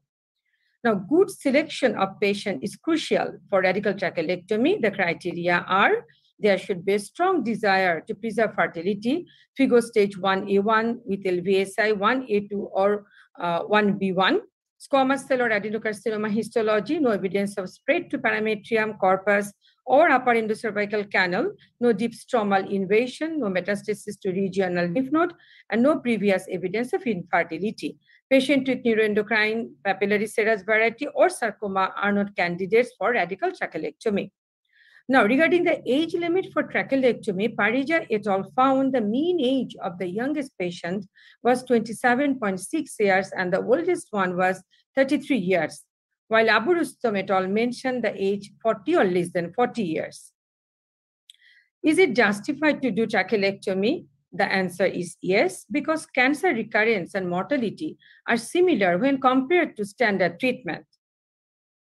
Now, regarding the pre-treatment evaluation, a critical issue is the extent of tumor, which can be done by extra chest. In addition, pelvic MRI is pre preferred to determine tumor diameter, to exclude involvement in the parametrium, vagina, and corpus, to assess cervical stromal invasion and proximity of tumor to internal cervical os, and to exclude lymphadenopathy.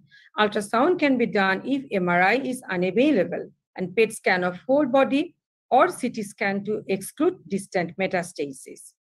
Some investigators also suggest to do colposcopy before radical trachelectomy in assessing spread to the vagina. The, regarding intraoperative consultation, frozen section has a crucial role to evaluate the pelvic lymph nodes for metastasis and to evaluate the resection margin after trachelectomy. At least 5 millimeter disease-free tissue from resection margin should be there. But frozen biopsy has some limitations in detecting micrometastasis. So in certain centers, it has been replaced by detection of sentinel lymph node biopsy, though in one third of patients with negative sentinel nodes, micrometastasis on final pathology may be found. Now, regarding the approach to trachelectomy, it can be done vaginally or abdominally through laparotomic technique, laparoscopic technique, or robotic technique. And pelvic lymphadenectomy can be done laparoscopically or robotically or laparoscopic approach. Several studies have shown that both vaginal and abdominal radical trachelectomies have comparable outcomes and both are safe surgical procedures. Regarding the types of trachelectomy, there are there it could be simple a trachelectomy for stage 1A1, no LVSI, and no nodal disease. Radical trachelectomy and trachelectomy can be done even after giving neoadjuvant chemotherapy for larger stage 1B cancer. But downstaging of tumors by any CT is still an experimental procedure to verify its oncologic safety. Now, the history of development of radical trachelectomy, laparoscopically assisted radical vaginal trachelectomy was developed first by Daniel Dargent in 1987. Later on, he reported it in 1994. It was actually a modification of the laparoscopic assisted radical vaginal hysterectomy. Since this report, over 1,000 women have undergone this procedure with more than 250 successful pregnancies afterward, and this was updated in Medscape in December 2020. Radical trachelectomy, also known as Dargent operation. The principles of surgery is the first step is to do pelvic lymphadenectomy to assess the metastasis by frozen biopsy. If it is negative, then the second step will be proceeded. The second step is removing the cervix, the upper part of vagina, and surrounding supporting tissues.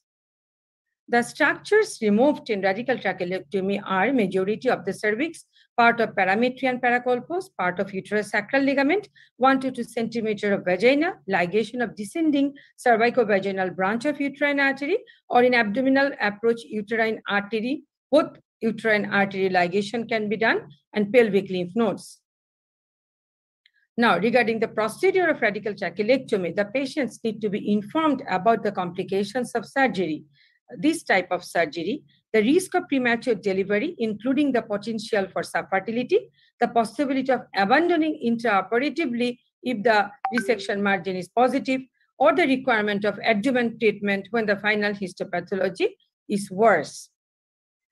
Now, abandoning, uh, abandoning of the procedure is performed when there is close or positive resection margin or lymph node metastasis, which revealed paraoperatively by frozen biopsy. In an analysis by Plante et al., 11% of cases resulted in abandoning, the main reason being lymph node metastasis. Now, regarding the procedure of abdominal radical trachelectomy, incision, it uh, low transverse or a vertical incision can be given upon entry into the abdominal cavity and intra-abdominal is performed for possible evidence of metastasis. By, bilateral, uh, bilateral pelvic lymphadenectomy should be performed and sent for frozen biopsy. If there is no evidence of metastasis, the procedure is started by developing the paravesical and pararectal spaces, and the retroperitoneal spaces is opened through the round ligament. Once the ureter and bladder are dissected, the uterine arteries are transected at their origin. Care is taken to avoid injury to the infundibulopelvic ligament and tubo-ovarial ligaments. After mobilizing the ureter, the parametria and paracolpos are dissected. At this point, the posterior cul-de-sac is incised and the uterosacral ligaments are divided. Finally, clamps are placed on the lower uterine segment at the level of the internal os, followed by transection of the specimen. The vaginal mucosa is sutured to the remaining cervical stump, followed by a prophylactic cerclage. This video is taken from surgi uh, SGO Surgical Education Film uh, by Sharyn uh, N. Lewin and Nadeem R. Abu Rustum.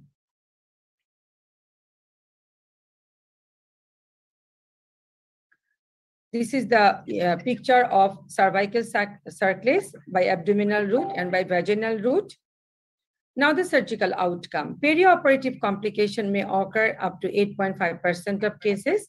Perioperative complications are ureteric injury, bladder or vascular injury. Postoperative complications are amenorrhea, dyspareunia, prolonged vaginal bleeding, cervical stenosis, cervico-vaginal dehiscence, cerclage erosion or pel pelvic lymphocyst. Regarding fertility outcome, 15% of women may be infertile and may require ART. It is recommended that women should wait 6 to 12 months following radical trachelectomy before attempting to conceive. Regarding the obstetric outcome, 54% cases may conceive. First trimester abortion is comparable to the healthy population. Second trimester and preterm, preterm birth a little bit higher, and term delivery may be uh, achieved in 52% of cases. Regarding the oncologic outcome, recurrence rate is 3 to 6%, mortality rate is 2 to 5%, and 5% of the patient may require adjuvant therapy. The prognostic factors are actually the tumor biology, and mainly the adenosquamous type and LVSI is the most important risk factor. Regarding follow-up, every three to four months for the first two years after surgery, then every six to 12 months up to five years, Thereafter, return to population-based screening, and the follow-up schedule should include HPV testing, colposcopy along with HPV testing is, is an, another option, but colposcopy and cytology frequently is unsatisfactory. Pelvic MRI six months after surgery and then yearly for two to three years. Other imaging can be done based on symptomatology. Now, the obstetric management consultation with specialist fetal-maternal medicine should be taken and delivery should be planned at 38 to 39 weeks by elective cesarean section due to permanent circulates. Uh, regarding completion hysterectomy, 5% cases may need elective hysterectomy for non-oncologic reasons. And the decision of routine hysterectomy or cesarean hysterectomy, once the family is completed, should be individualized.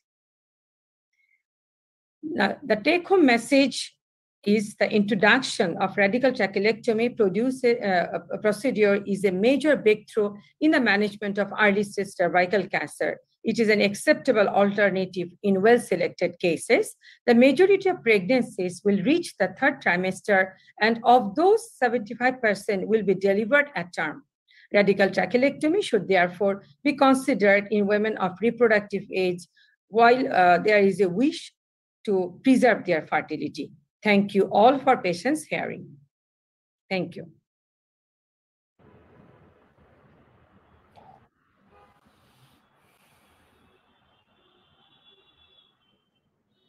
I think I can talk now. Thank you, Dr. Um, uh, Jannatul for your wonderful talk.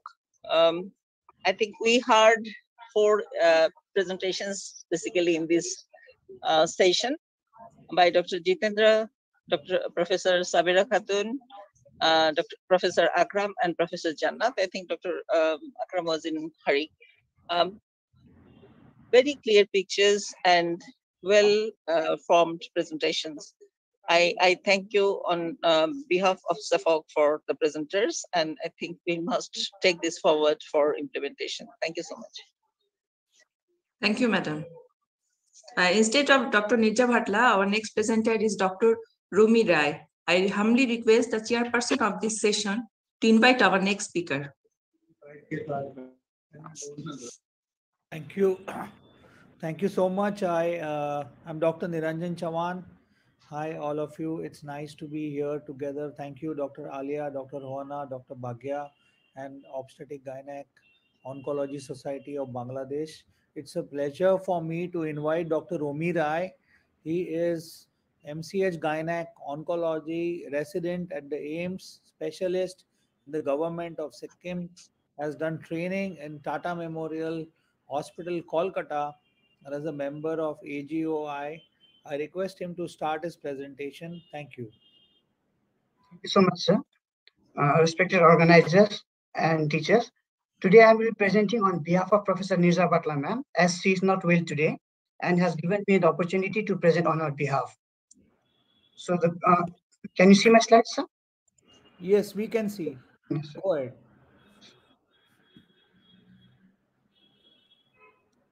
So the topic for my talk is management of rare cancers of cervix. I'm presenting it on behalf of Professor Neerja Bhatla, who is Professor and Head and Chair Division of Gynae Oncology at AIIMS New Delhi.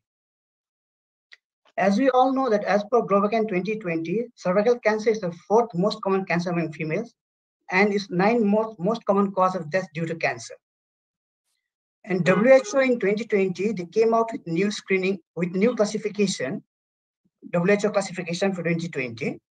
So the major changes in this classification were the squamous cell carcinoma, it was divided into two categories, which was HPV associated and HPV independent. And in this squamous cell category, the distinction was possible based on morphology and it was not possible, distinction was not possible based on morphology alone. So we required further testing like P16 and HPV testing. But adenocarcinomas, which was also divided in HPV associated and HPV independent, in this ca category, the distinction was based on morphology alone. And WHO, they omitted serous carcinoma from cervical cancer category. Intermediate adenocarcinoma was a diagnosis of exclusion, and adenocarcinoma NOS was to be used as less as possible. Coming to the glandular lesions of cervix alone, we all know that HPV-associated endocervical carcinoma, the most common type is usual type, which is 75%, followed by mucinous type, which is 10%. But the HPV-independent endocervical carcinomas consist of only 10 to 15%, out of which gastric adenocarcinoma, clear cell carcinoma, and mesonephric adenocarcinoma consist of these HPV-independent cancers. This is a brief overview of FIGO staging 2008, 2018. We all know this. And this is a brief stage overview of stage-wise management of cervical cancer. We all know that in early stage disease, the treatment is surgery. In advanced disease, the treatment is concurrent chemoradiation. Now coming to the uh, rare cancers of the cervix, squamous cell carcinoma, it accounts for 80 to 90% of cervical cancers, out of which only 5 to 7 percent are HPV independent. In adenocarcinomas, which accounts for 20 to 25% of all cervical cancers, 10 to 15% are HPV independent. So overall, 5% of all cervical cancers are HPV independent. So how do we diagnose these HPV independent tumors? So for diagnosing HPV dependent or independent tumors, we need to do some FDA approved HPV tests like hybrid capture, Aptima, cobas test. And these HPV independent tumors, they will test negative in this testing. We have some ancillary tests and in this testing, we have P53 immunostaining, which HPV independent tumors will stay very highly. But these HPV independent tumors will have decreased expression of P16, P14, and P27, which are the surrogate markers for HPV infection. These HPV independent tumors, they also show higher expression for weak, weak 1 mRNA and lower proliferative activity for P10, P53, and KRAS. Now, coming to the outcome of these HPV independent tumors, Lee et al. They did a meta-analysis of 17 retrospective studies consisting of 2,800 patients, and it was seen that overall survival was better for HPV-associated tumor, as well as disease-free survival was better in HPV-associated tumors. Another retrospective study of 248 patients, where the patient had provided cervical sample before treatment, out of which 108 patients underwent surgery and 140 had undergone concurrent chemoradiation it was seen that 18.5% patient has HPV independent cervical cancer. And here it was seen that HPV negativity was associated with poor disease-free survival when it was compared with HPV-associated tumor. Another multicentric retrospective study published in November 2020, in which stage 1B endocervical adenocarcinomas treated with surgery were included. This also showed that HPV independent status was associated with worse recurrence-free survival with hazard ratio of 2.3. So looking after all those studies, we can say that HPV-independent tumors are associated with worse oncological outcomes as compared to HPV-associated tumor. Till date, there's no specific treatment regimen for HPV-independent tumors. We have to treat these HPV-independent tumors same as HPV-dependent tumors. So further studies need to be done to see the prognosis of the disease, the response assessment, the biomarkers, and novel therapeutic agents are to be studied for these HPV-independent tumors. Coming to the adenocarcinoma of gastric type of cervix, I have mentioned this specifically because previously this cancer, gastric type HPV independent adenocarcinoma was also known as minimally deviation adenocarcinoma or adenoma malignum. But WHO 2020 recommends that not to use the term like adenoma malignum and minimal deviation adenocarcinomas. This is the second most common endocervical adenocarcinoma, which consists of 10 to 15%. It is not HPV associated, and this is frequently associated with STK11 germline mutation, which causes Peutz-Jeghers syndrome. And this gastric type adenocarcinoma also has shown poor oncological outcomes when just compared with usual type endocervical adenocarcinoma, with five-year overall survival being only 42% compared to 91% of usual type adenocarcinoma. For this cancer also, there's no specific treatment guidance as of now. It has to be treated just like any other HPV-dependent cancers. Now coming to a very rare kind of cervical cancer, which is neuroendocrine neoplasia of cervix. WHO 2020, they published a two-tier system for neuroendocrine neoplasia of female genital tract, which was high grade and low grade. Grade 1 and grade 2 were included in low grade neuroendocrine tumors, but grade 3 and above and all neuroendocrine carcinomas were included in high grade. Those included small cell cancers, large cell cancers, and combined cancers. We all know that cervix is the most common site of female genital tract neuroendocrine carcinomas, accounting for less than 2% of our gynae malignancies. And small cell neurocarcinoma is the most common female genital tract neuroendocrine carcinoma. They consist of 1.4% of all cervical cancers. Usually associated with HPV infection, especially HPV 18, and the diagnosis can be made based on morphology and IHCs like chromogranin and synaptophysin. They are associated mutations like KRAS, P53, and PIK3A. The staging is same as per WHO uh, FIGO 2018 staging system. Regarding imaging, on initial diagnosis, SGO and NCCN, they recommend to do a PET scan or CECT of chest, abdomen, and pelvis, as the disease has a higher propensity for distant metastasis on present patient. The brain imaging is not routinely recommended, but it is to be done if there's a liver or lung metastasis or patient, patient presents with neurological symptoms. As I already told, it presents usually in advanced stage, lymphatic and distant metastases are present. It has a very poor prognosis with median OS of only 22 to 25 months. The OS for early stage is 31 to 51 percent, but, but, for advanced disease, it decreases to 0 to 7 percent only. Now, coming to the management of neuroendocrine cancers, this cancer, the, there's no prospective data on neuroendocrine cancers. The majority of the data has been extrapolated from small cell cancer of the lung. So for early stage cancers of the neuroendocrine of cervix, the treatment is radical hysterectomy with pelvic node dissection with or without para-aortic node dissection, followed by adjuvant therapy.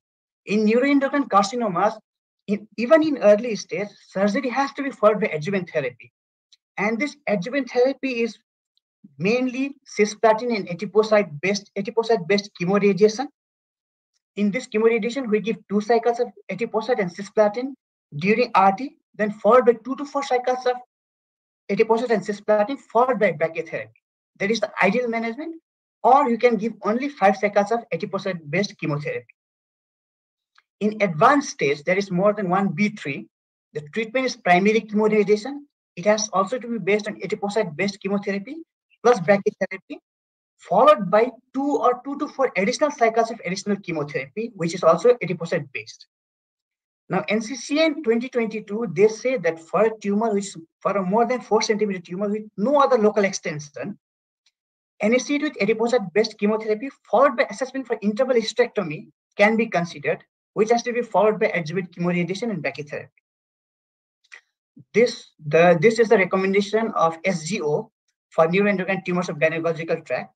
Like I all told you, for early stage, the treatment is hysterectomy followed by adjuvant therapy.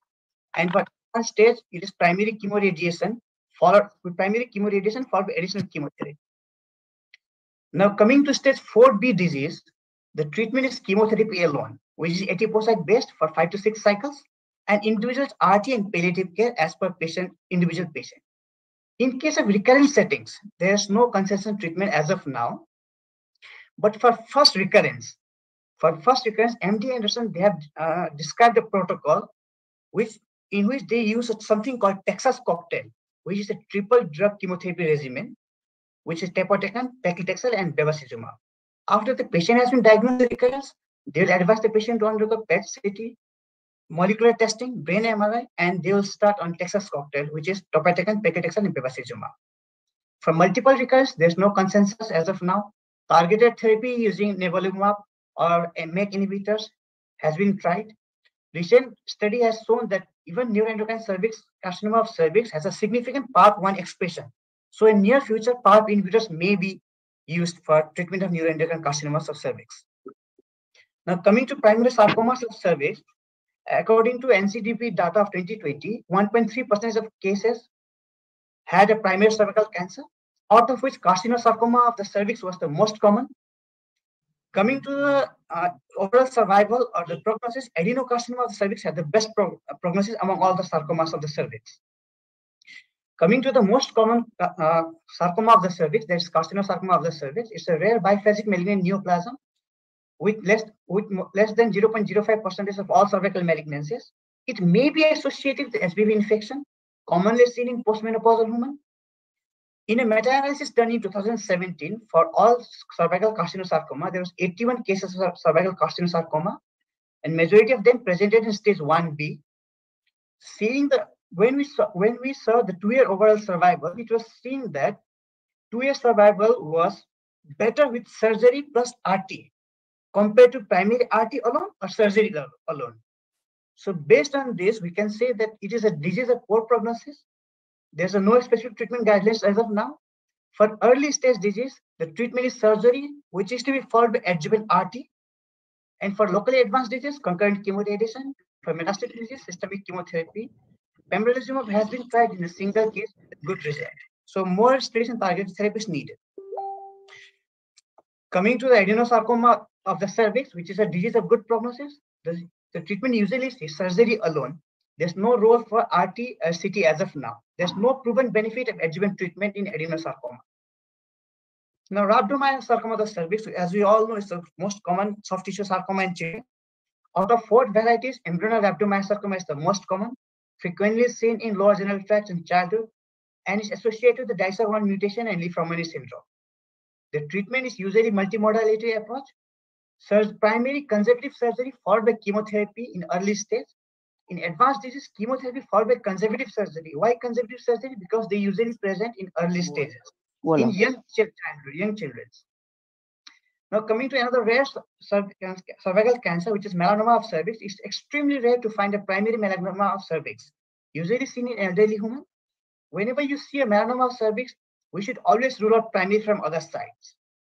Usually diagnosed in early stage, but it's a disease of a poor prognosis with a survival of 20 months in stage one.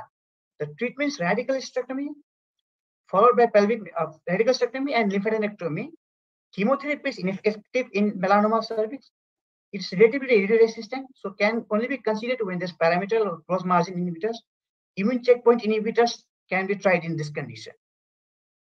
Coming to the lymphoma of cervix, uh, to see a, a, primary cervical lymphoma is extremely rare, consisting of only 0.06% of all cervical malignancies. The most common histology being diffuse large cell lymphoma. The five years overall survival is 70 to 70.2%, and the treatment is R-CHOP. That is rituximab, cyclophosphamide, doxorubicin, vincristine, and prednisone. Surgery has shown to be of no benefit in lymphoma of the cervix. Radiation may be, can be considered for relapse or for relapse diseases. Now, just to highlight some, some rare cervical cancers like clear cell adenocarcinoma, which is usually associated with DES exposure. Treatment is same like any other carcinosarcomas, adenoid cystic carcinoma. Treatment is usually surgery by adjuvant chemoradiation in cases with high risk features. They have a poor prognosis. Adenoid basal carcinoma, carcinoma and verrucous carcinoma, is slowly growing but locally aggressive tumor. The surgery, radical surgery is the mainstay of the tumor, uh, of this condition. So to conclude my talk, the rare cancers of cervix, they consist of less than 5% of all cervical cancers. HPV-independent cancers are aggressive tumors compared to HPV-dependent tumors. And as of now, they are treated same as HPV-associated tumors, but the future research needs to be done to see the patient outcomes and differences in treatment between them. For high-grade neuroendocrine cancers of neuroendocrine cancers of the cervix, the multimodality treatment is the cornerstone, and the chemotherapy has to be based on etoposide and for cervical sarcomas, the management is individualized as per histology, stage, and patient factors. Thank you so much. At the end, I'd like to thank Ma'am, Professor Niza Ma'am, and all the organizations for giving me opportunity to present this talk. Thank you so much. Thank you. Thank you, Dr. Romeo. It was a wonderful presentation, different types of rare cancer, and uh, we wish Neerja a speedy recovery uh, from her uh, COVID. Thank you so much. Uh, we have any uh, next speaker? Can we have the next slide, please?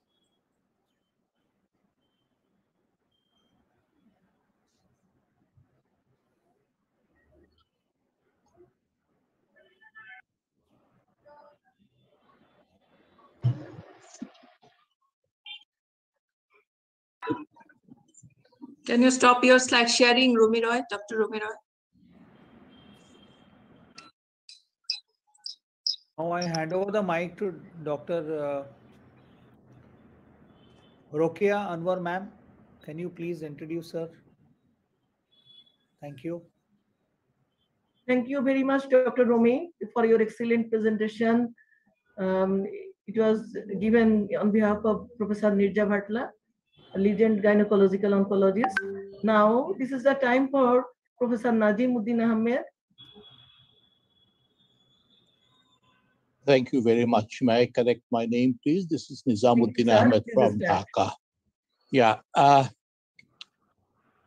very good evening to everybody from SAARC countries. I have been asked to talk about palliative care for cancer cervix in SAFOG countries. That was the responsibility given to me.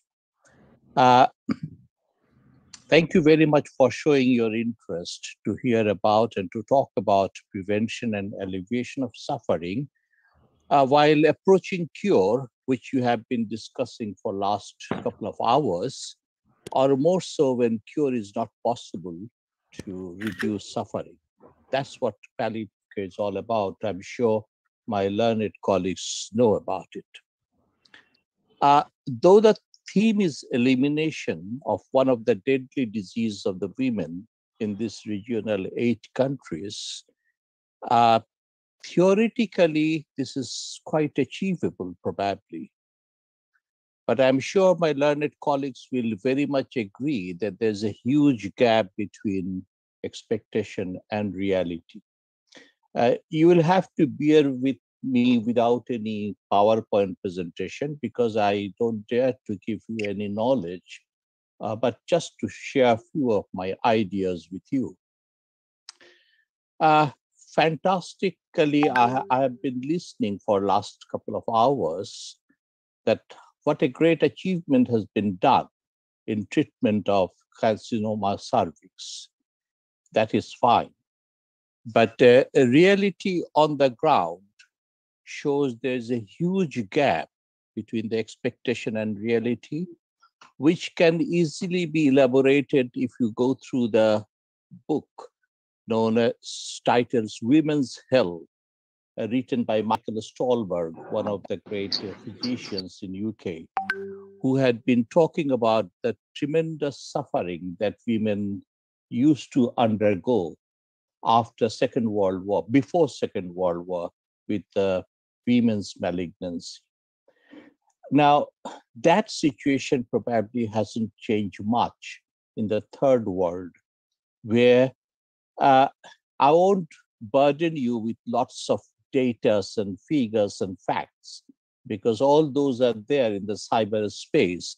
But I can just remind you that uh, though we have achieved so much, but uh, it says that there had been 60,000 deaths in India with carcinoma cervix, about 6,482 in Bangladesh annually in 2018, 823 in Afghanistan, and 1,367 in Nepal, and about uh, 15 in Bhutan, and 3,197 from the from Pakistan. Uh, we don't have data from Maldives. Uh, how these patients die, I'm sure you all gynecologists uh, know much better than I witness that in what wretched condition these women really die in lower and middle income country after all the tremendous achievement of the cure-oriented management of cervix, cervical carcinoma has been achieved. Uh, I have a small figure from the Department of Palliative Medicine in our university in Bangladesh. During the 10 years period from 2007 to 2017, uh, there were 2,053 female patients out of about 10,000 patients altogether. And uh, 18.9% patients had gynecological malignancy, and uh, of them, 49.6% diagnosed with cervical cancer. Now, 85% of them had moderate to severe pain. A majority had loss of appetites and weakness and sleeplessness and swelling and uh, tremendously bad quality of life. I won't take you to the symptom profile of these patients. But just giving you a one simple glimpse that the morphine, the golden drug of choice for pain relief, I have another data of telling you that in Bangladesh, the average morphine per capita morphine use is less than 0.5 milligram, which is around 6 milligram globally. And I have all these facts, uh, figures of the SAFOG countries where everywhere uh, the, the morphine consumption is less than one milligram. What which which tells us that all these patients who died, majority of them had severe pain with other uh, symptoms, distressing symptoms of suffering, which could easily be relieved before they, they died. In 1960, uh, in 2014, World Health Alliance has called upon its member states to incorporate palliative care into their mainstream healthcare. Nevertheless, in 2021, out of these SAFOG countries, India has the best profile of palliative care. And you know what is that? That is, after 30 years of their journey in palliative care, less than 1% of the patients who need palliative care can avail. Now, when we talk about these issues, I would refer my learned colleagues to the latest Lancet issue on uh, value of death, which came out only four days ago, which will show us the globally the tremendous difference between expectation and reality. And I would also refer my learned colleagues to the Lancet Commission report in 2000 of 2018 on palliative care, which will tell you why I'm saying all these instead of focusing on the palliative care for cancer cervix patient. Because palliative care for cancer cervix patient cannot come as an individual package except considering the fact that whether that country has got uh, palliative care facilities or not. Uh, there's no slide. I'm sorry. There's a comment on chat box. No slide. No, I haven't prepared slide because I thought that how many slides can I really accommodate in eight minutes time? So I thought that I would try to share a little bit of my feelings. Now, the, all these uh, dark facts uh, gives rise, uh, brings us to a rather lightning area that for last one and a half year, the Southeast Asian regions have started showing interest in palliative care specifically. A number of countries are undertaking situation analysis profile, include Bangladesh, India, Bhutan, and Nepal. Uh, in conclusion, what I would like to say that can we urge upon you the clinical colleagues in different countries who are very important and influential to consider the recent report by the Institute of Medicine which underscores the perverse financial incentives that deter implementation of humanistic end of life care and encourage costly heroics. It may also incur additional suffering. We need to impress this upon our young colleagues also to make appropriate decision in the face of incurability and futility. Prevailing culture must be changed from a death denying attitude towards pro- offering proper value to the death and dying. Uh, thank you very much. I will appreciate any question from any audience because I think I haven't taken 10 minutes time yet. So thank you very much.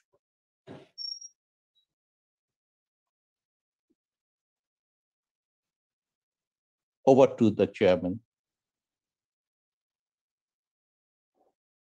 Can I ask one question if there is time? Please, Please sure. Yes, sir. Uh, sir, uh, as you understand that cervical cancer presents in a very advanced stages. So what do you do for the foul smelling discharge which continues for long, long times because that's uh, mostly a local disease and they don't die Absolutely. very early. Yes, sir. What is your Absolutely. My personal feeling is maintaining as much personal hygiene as possible, number one. Number two, cleaning the area with metronidazole solution will give you a magic response in many cases. Number three, systemic uh, metronidazole also can be of helpful. But three things, I'll, I'll just remain focused on that foul smelling discharge. One is personal hygiene as much as possible. At the same time, uh, metronidazole uh, wash, metronidazole, and s- systemic metronidazole if needed. Thank you. Thank you. sir. Thank you. Can I have a question? Please. Uh, how you manage the severe lymphedema? Okay. Because we cannot manage this, this lymphedema. We send Number the patients to palliative care. Yeah. uh, Now the issue, the problem is this: that palliative care is not a rocket science or a magic. So once the lymphatic drainage has been obstructed, and no, none can uh, probably eliminate it, but can be reduced by a number of approaches like massage therapy, like bandaging, even in severe most cases, quite often, sometime with a with drainage procedure. But uh, this is this cannot be totally cured, as you put it.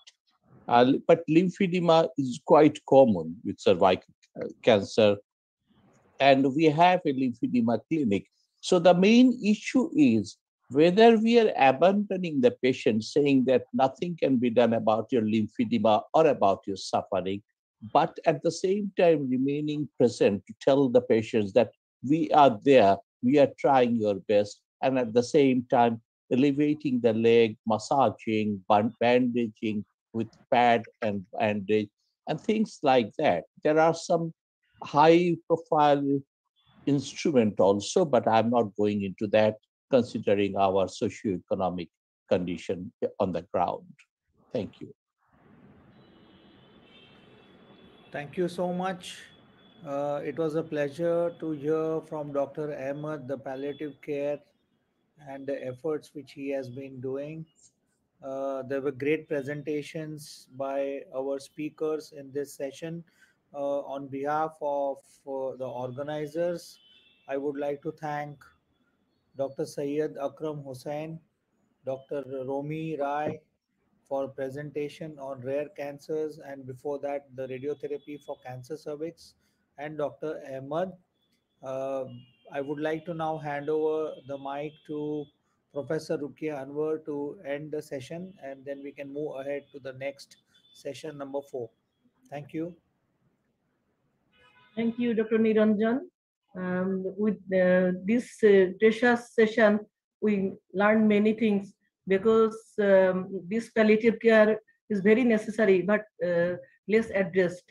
Uh, in our country, most of the time, patient come to us with advanced stage, more than 90%. So uh, we have to take care of this department and we'll try to develop this department in all medical colleges. So with these few words, I like to conclude this session. Thank you, organizer, to giving me the scope to be here. Thank you very much. Thanks to the speakers and the uh, chairpersons. Now I hand it over to Farhana Haq for conducting next session. Thank you, Dr. Farhana Kalam. Uh, this session uh, is the panel discussion discussion session. It is conducted uh, moderate, uh, moderated by Dr. Rifat Ara.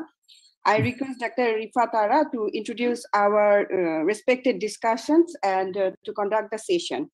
Dr. Rifat Ara, over to you. Dr. Farhana Haq. Now is the panel discussion session. And before uh, start of the interactive discussion, discussion session, I would like to introduce our respected panelists. Dr. Samanthi Premaratne, she is from Sri Lanka. Dr. Niranj, Professor Niranjan Chavan, she is from, he is from India. Uh, Dr. Ugen uh, from Bhutan, Dr. Namkha Dorji from uh, Bhutan, uh, Dr. Kirtipal Subedi uh, from Nepal, and Professor Shahana Parvin from Bangladesh.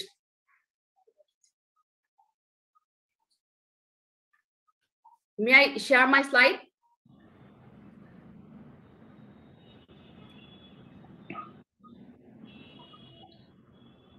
Share করো চলে গেছে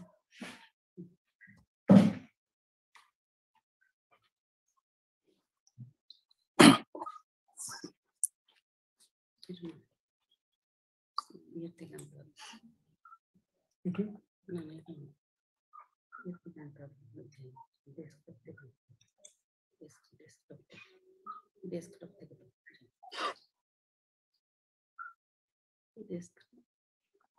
do desktop This Desktop.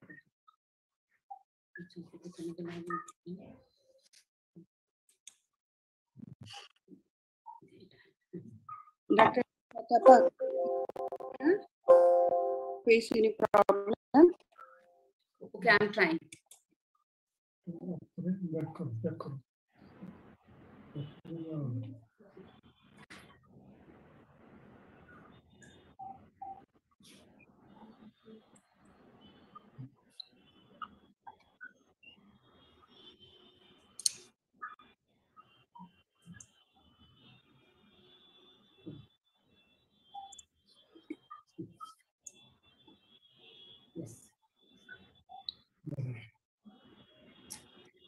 Is my slide visible? Yes. Visible. Yes, visible. Yes. Okay. Slide is moving. No, no, no. Slide not not moving.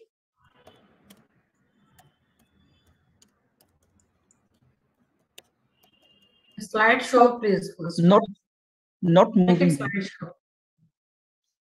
Rifat, make a slideshow. Yes, Then I- try to- then try to move. Okay, I'm stopping uh, sharing and uh, sharing again. Again. I'm doing, I'm doing, Rifat, I'm doing. You Plus send it to my mail.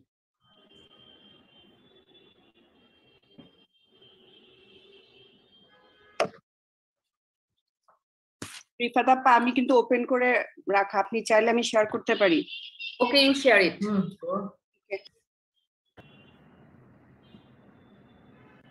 Mhm.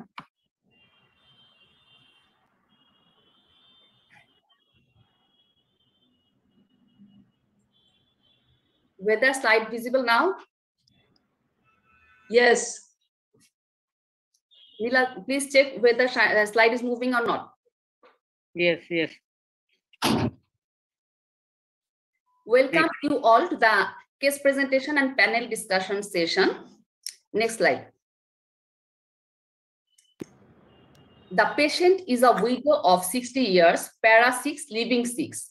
She attended to a medical college hospital in the southernmost part of Bangladesh with parvaginal discharge for one year.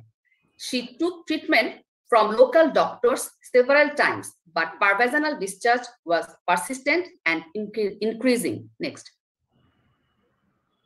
She gives no history of cervical cancer screening before.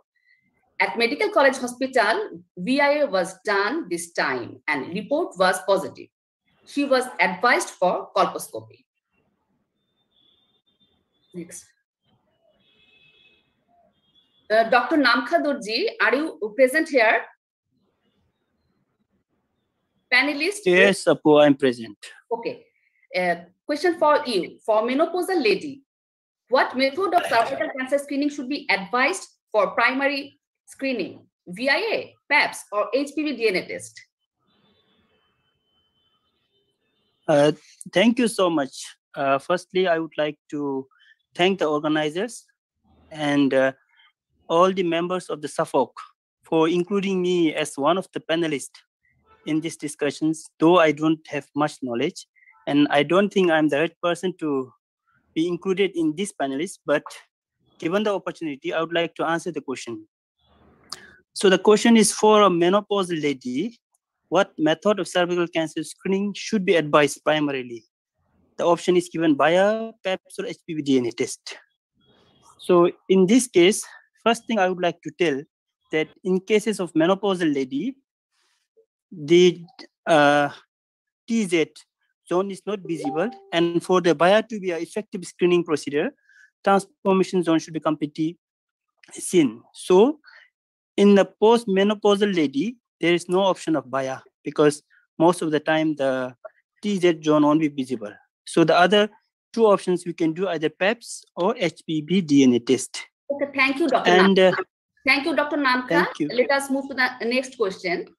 Uh, If vi- VIA is positive, as, as for in this menopausal lady, what should be done next as colposcopy may be inadequate for her?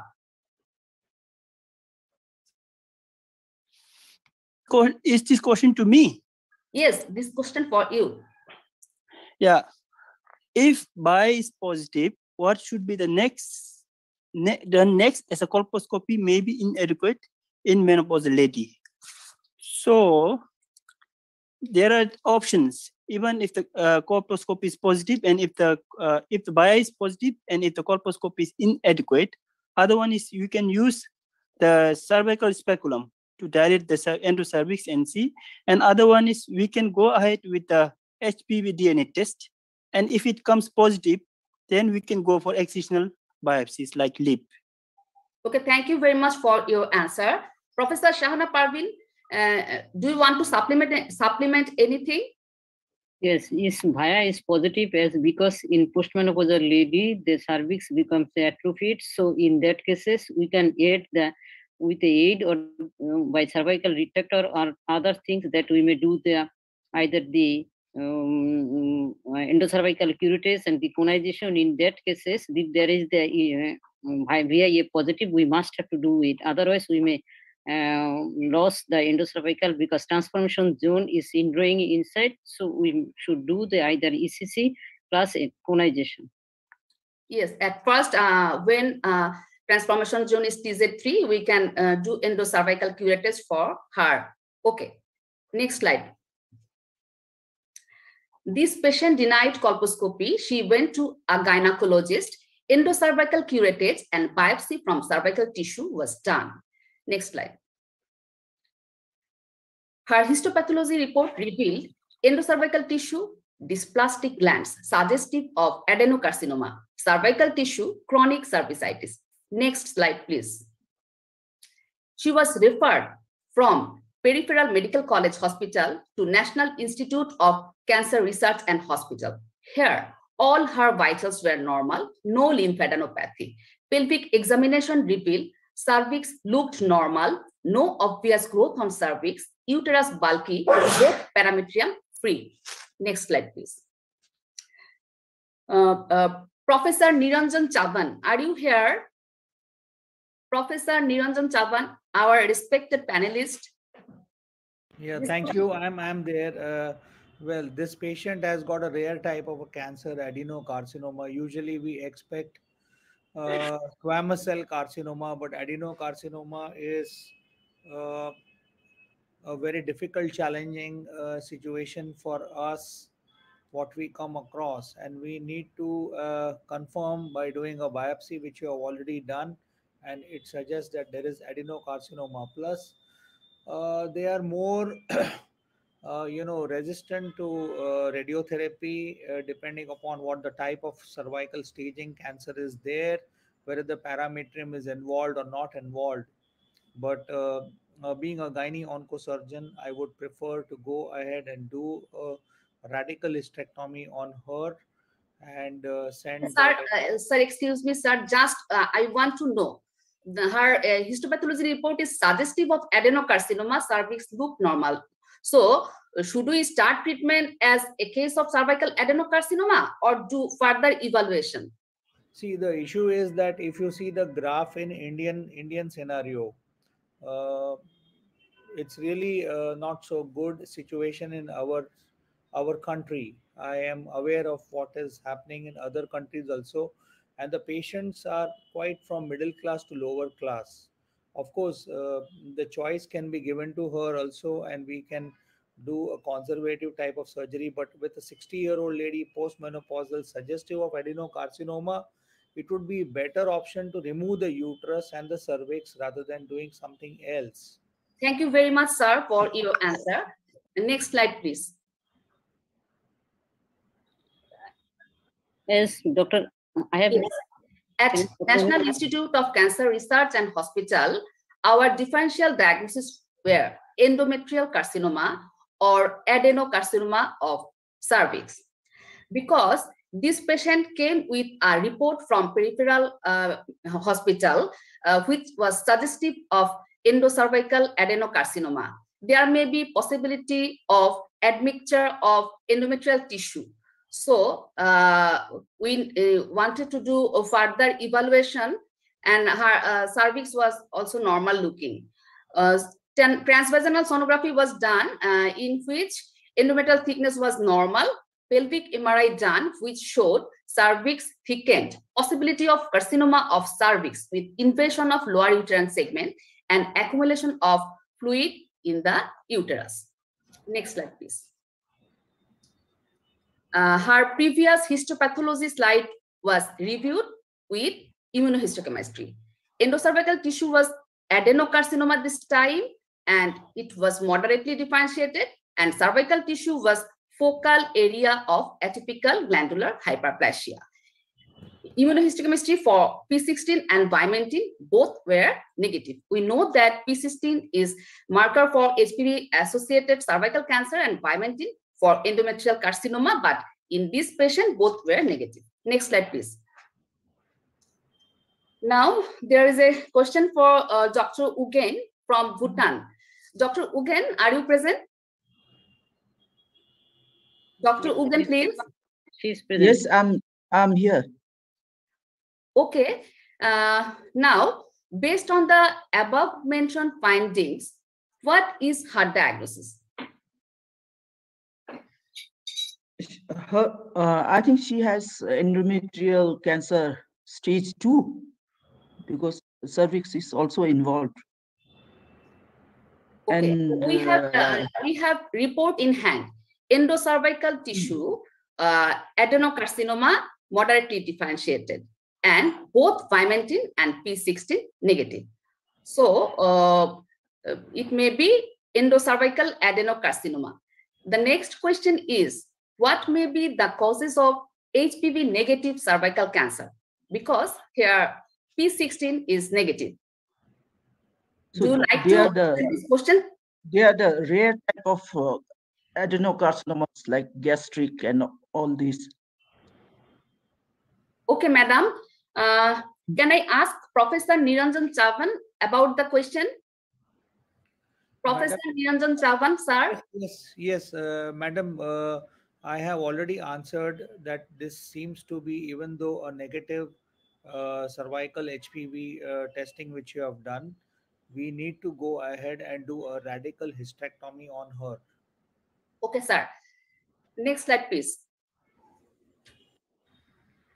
At our center, radical hysterectomy with bilateral salpingo-oophorectomy, bilateral pelvic lymph node dissection was done.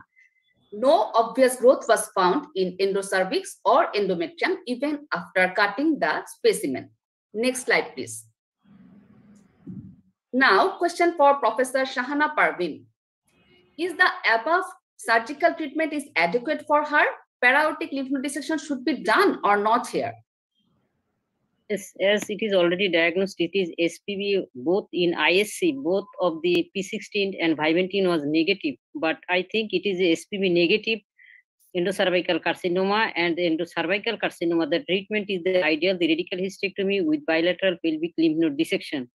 If we think thought that it was a endometrial carcinoma, then there is the issue for the para-aortic lymphadenectomy. So I think it is justified this type of treatment. Okay, thank you, madam. Your next question is, whether immunohistochemistry should be advised again in surgical specimen to confirm the diagnosis because HPV negative cervical cancer may be false negative or it may be diagnosis of non-cervical cancer, particularly endometrial cancer. Yes, there is that in adenocarcinoma, there is the HPV in uh, 0.7, 0.3% cases, there may be HPV negative adenocarcinoma. 0.7 HPV negative carcinoma, cervical carcinoma. And in HPV negative cervical carcinoma, there is the main, uh, the carcinoma is a squamous cell carcinoma. And in 25% cases, is maybe a adenocarcinoma. So it may be HPV negative adenocarcinoma, and in if you have any doubt in that cases, we should do the another the ISC marker that is the CEA and also the ERPR. We may do that, but I think it is sufficient for us because there already that there is endometrial thickness normal, MRI report that, and all this in favor of the vimentin HPV. We are in uh, favor of this. It is the cervical carcinoma. Okay, thank you, madam. Next slide, please. Final histopathology report after surgery revealed grossly no tumor is discernible in uterus or cervix. On microscopy, it was endocervical adenocarcinoma, moderately differentiated, lower uterine segment involved, lymphovascular space invasion present, a pelvic lymph node involved on right side. Next slide, please. Immunohistochemistry done, CEA was positive, but P16 and vimentin were again negative. Next slide, please. Immunohistochemistry for MMR also done. It showed no loss of nuclear expression of MMR protein. That is suggestive of there is no prob probability of Lynch syndrome related endometrial carcinoma. Next slide, please. Now there is a question for uh, Dr. Kirtipal Subedi from Nepal. Are you here, please? Yes. Doctor? Here. Yes. Okay. Sir. Yes, ma'am. Okay, sir. Uh, in this patient, histopathology report showed lymphovascular space invasion positive, one lymph node positive. What adjuvant therapy is needed for her? I think uh, she, needs, she needs to go for uh, adjuvant chemo, radi chemo radiation although it's uh, adenocarcinoma, but since lymph node is positive, uh, she might need further therapy. Yes, sir. Uh, several studies have shown that concurrent chemo-chemoradiation, adjuvant concurrent chemoradiation, in, improve the uh, survival of Overall the survival, yes. Okay, sir. Uh, next question for you. On pelvic MRI, lymph nodes were not enlarged, but on histopathology report, uh, one lymph node was found involved. Can we correlate these findings with HPV negative adenocarcinoma? Uh, I think I might not exactly answer this question, but uh, to find out lymph nodes, CT, CT scan would be more reliable for finding out lymph node than uh, MRI. Maybe that could have helped to find out the lymph nodes. Okay, sir. Professor Niranjan Chavan, uh, do you like to answer the question? Professor Niranjan Chavan? Madam, my there is an issue about my network. Hello, hello, hello, hello. Okay, okay, sir. You're audible. Usually, You're audible. You can answer the question. Niranjan, you can answer the question. You can hear you. Anyone in the uh, panelists can answer this question. This is a HPV negative endocervical adenocarcinoma. And uh, usually HPV negative endocervical adenocarcinoma present uh, in advanced stage oh, and lymphovascular space invasion is very common. Uh, although MRI revealed no enlarged lymph node, uh, lymph lymphatic micrometastasis was present before the disease was clinically evident in the cervix. Okay, next slide, please. Uh, this is uh, my last question. This is a question for uh, Dr. Samanthi Premaratne. She is from Sri Lanka. Are you here? Dr. Samanthi Premaratne? Probably she's not, he's not here. Okay, but Professor Shahana Pervin, madam, I am asking this question to you. WHO is transitioning to HPV-based screening test from traditional VIA or PAP test. If in this patient, primary screening test was done with HPV DNA test, how should she be counseled after getting negative report?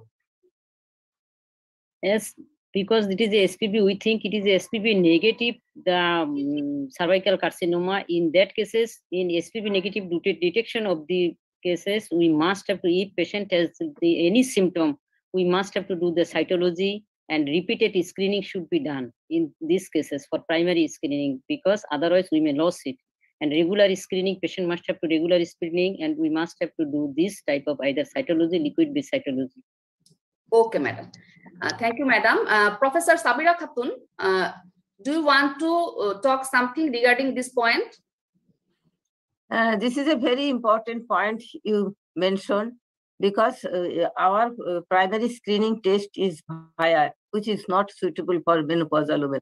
But the menopausal women, when cancer, cervical cancer or endometrial cancer, both the cancers can be presented by, by excessive vaginal discharge. So this patient complaining of excessive vaginal discharge for a long time, uh, even if the VIA test, sorry, HPV test is negative, then uh, uh, the patient should be followed up for exclusion of the malignancy. So next thing is to do pap smear. And even if the she uh, uh continue the symptom the next thing is to do the endometrial and the cervical curettage. So this patient should not be uh, left for without follow-up. So during follow-up this uh, patient um, um, during follow-up and follow-up gap should not be very long. Frequently she should be followed and until and unless his malignancy is diagnosed. I think if she, without screening test, if she had any in the cervical curettage and endometrial curettage, the diagnosis of adenocarcinoma of the endocervical uh, uh, and lower uterine segment could be easily diagnosed. Thank you, madam. My heartfelt gratitude to all the respected panelists for their active participation and heartiest contribution to make the session attractive. And thank you very much to the learned audience for patience hearing and to be with us. Now, uh, I am at the end of the session and over to Dr. Farhana Kalam for continue with the next session. Thank you. Thank you, Dr. Rifat Ara. And we are at the ending of our session. Now I am waiting uh, to hear survivor voice.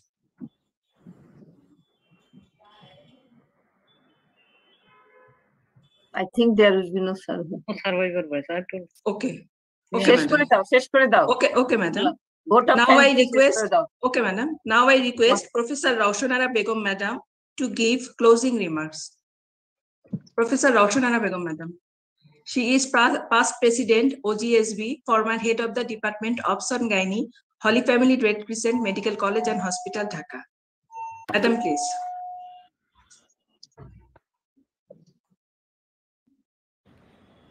Yeah, awesome. awesome.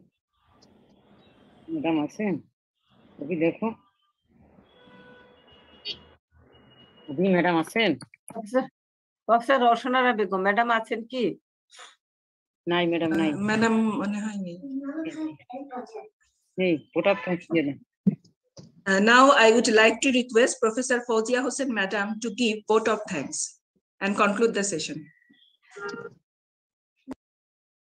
Farhana Kalam. Uh, Assalamu alaikum. And uh, first of all, my sincere thanks to Almighty God for making today's event a grand success. By His blessings and grace, we are able to host this event. Distinguished guests um, of this August gathering, a warm and cherished evening to you. It is my privilege to propose a vote of thanks and acknowledge the contribution of those who worked hard to make this webinar on cervical cancer elimination, not beyond us, a great success. Teachers are the ideals of the younger generation.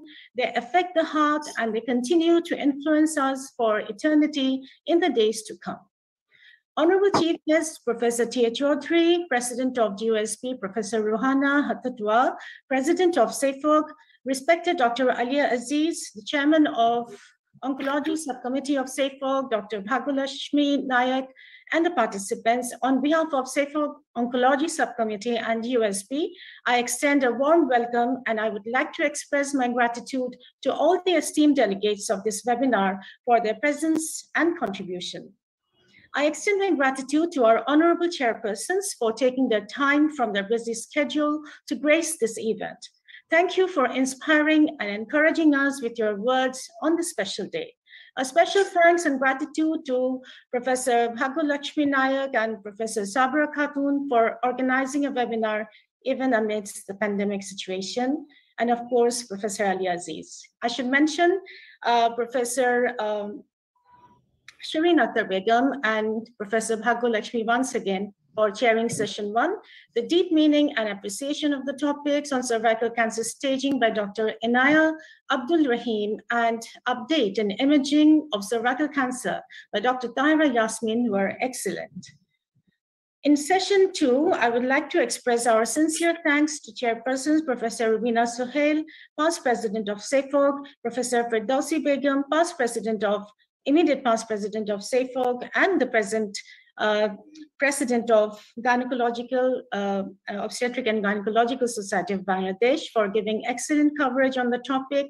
Dr. Jitendra Pariyar covered precisely about diagnosis and treatment of microinvasive cancer cervix. And uh, the steps of radical hysterectomy and radical trachelectomy has been very meticulously and elaborately explained by Professor Sabera Khatun and Professor Jannatul Ferdous, respectively. In session three, there were advances in adjuvant therapy for cancer cervix, and I would like to express my gratitude to the chairperson, Professor Rokeya Anwar and Dr. Niranjan Chavan. We are all inspired by your great works. The current status of radiotherapy for cancer cervix in safer countries was explained by Professor Syed Akram Hossain. We wish to hear more from him, but he had to attend a live television program, so he actually, uh, it was very concise. But in the future, we would like Professor uh, Akram Hussain to be here again. So management of rare cancers of cervix by Dr. Romi Rai was very nicely presented. And of course, uh, the palliative care for cancer cervix in several countries by Professor Nezamuddin Ahmed has been time demanding and has been extensively discussed. The moderators, the bright and brilliant Dr. Farhana Haq, Dr. Farhana Kalam, and Dr. Rifat Ara has moderated the scenario sessions brilliantly. And special thanks to the case discussants, discussants Dr. Niranjan Chavan, Dr. Ugyen Tshomo, Dr. Namkha Dorji, Dr. Kirtipal Subedi, Professor Shahana Pervin. But I think uh, Dr. Samanthi Premaratne uh, was not here at the end. Uh, and I thank them again for their interesting portrayal of the scenarios. A special mention to Professor Rowshan Ara Begum, even though she is not present here, uh, maybe due to some unavoidable circumstances. She is our past president of OGSB, and she has always been the catalyst that, that inspired us to do our best and stand as, as a pillar of power. So with deep sense of appreciation, we thank our loving teachers from all the SAFOG countries for their uncaring efforts. I also want to thank Professor Shahana Pervin, who worked behind the scene to execute this event, and our technical arrangement team. Our sincere gratitude goes out to you for your rock solid support and uh, the encouragement. I must thank the organizing team, volunteers, for working hard for the past few days to make this webinar successful. Our office, office assistant, Morshad Alam, entire team of Incepta Pharmaceuticals and our media partner, Doctor TV. I lack words for your participation and for your willingness to complete the tasks beyond your comfort zones. It requires planning and bird's eye for details. We have been fortunate to be supported by a team of very active and dedicated uh, doctors and employees of our organization who are well versed in their jobs. Thanks to our technical and IT support team members and the media partners once again. So thank you very much. Every special moment ends, and this occasion is no exception. We have worked in the past for elimination of cervical cancer. Today, we will take home the knowledge and then apply it in our professional lives and work together for its elimination in the present and in the future. Dear esteemed dignitaries, from home and abroad. You're all sources of inspiration. Let us take life's challenges in a more positive way. Please stay safe and stay tuned for our next program. So this is Fawzia Hossain from Bangladesh uh, saying goodbye. Thank you. Khuda Hafiz. Thank you. Thank you, everyone. Alyia there? Dr. Alyia? Dr. Alyia? Probably she left. Okay, okay. So, Alyia, I think she has left.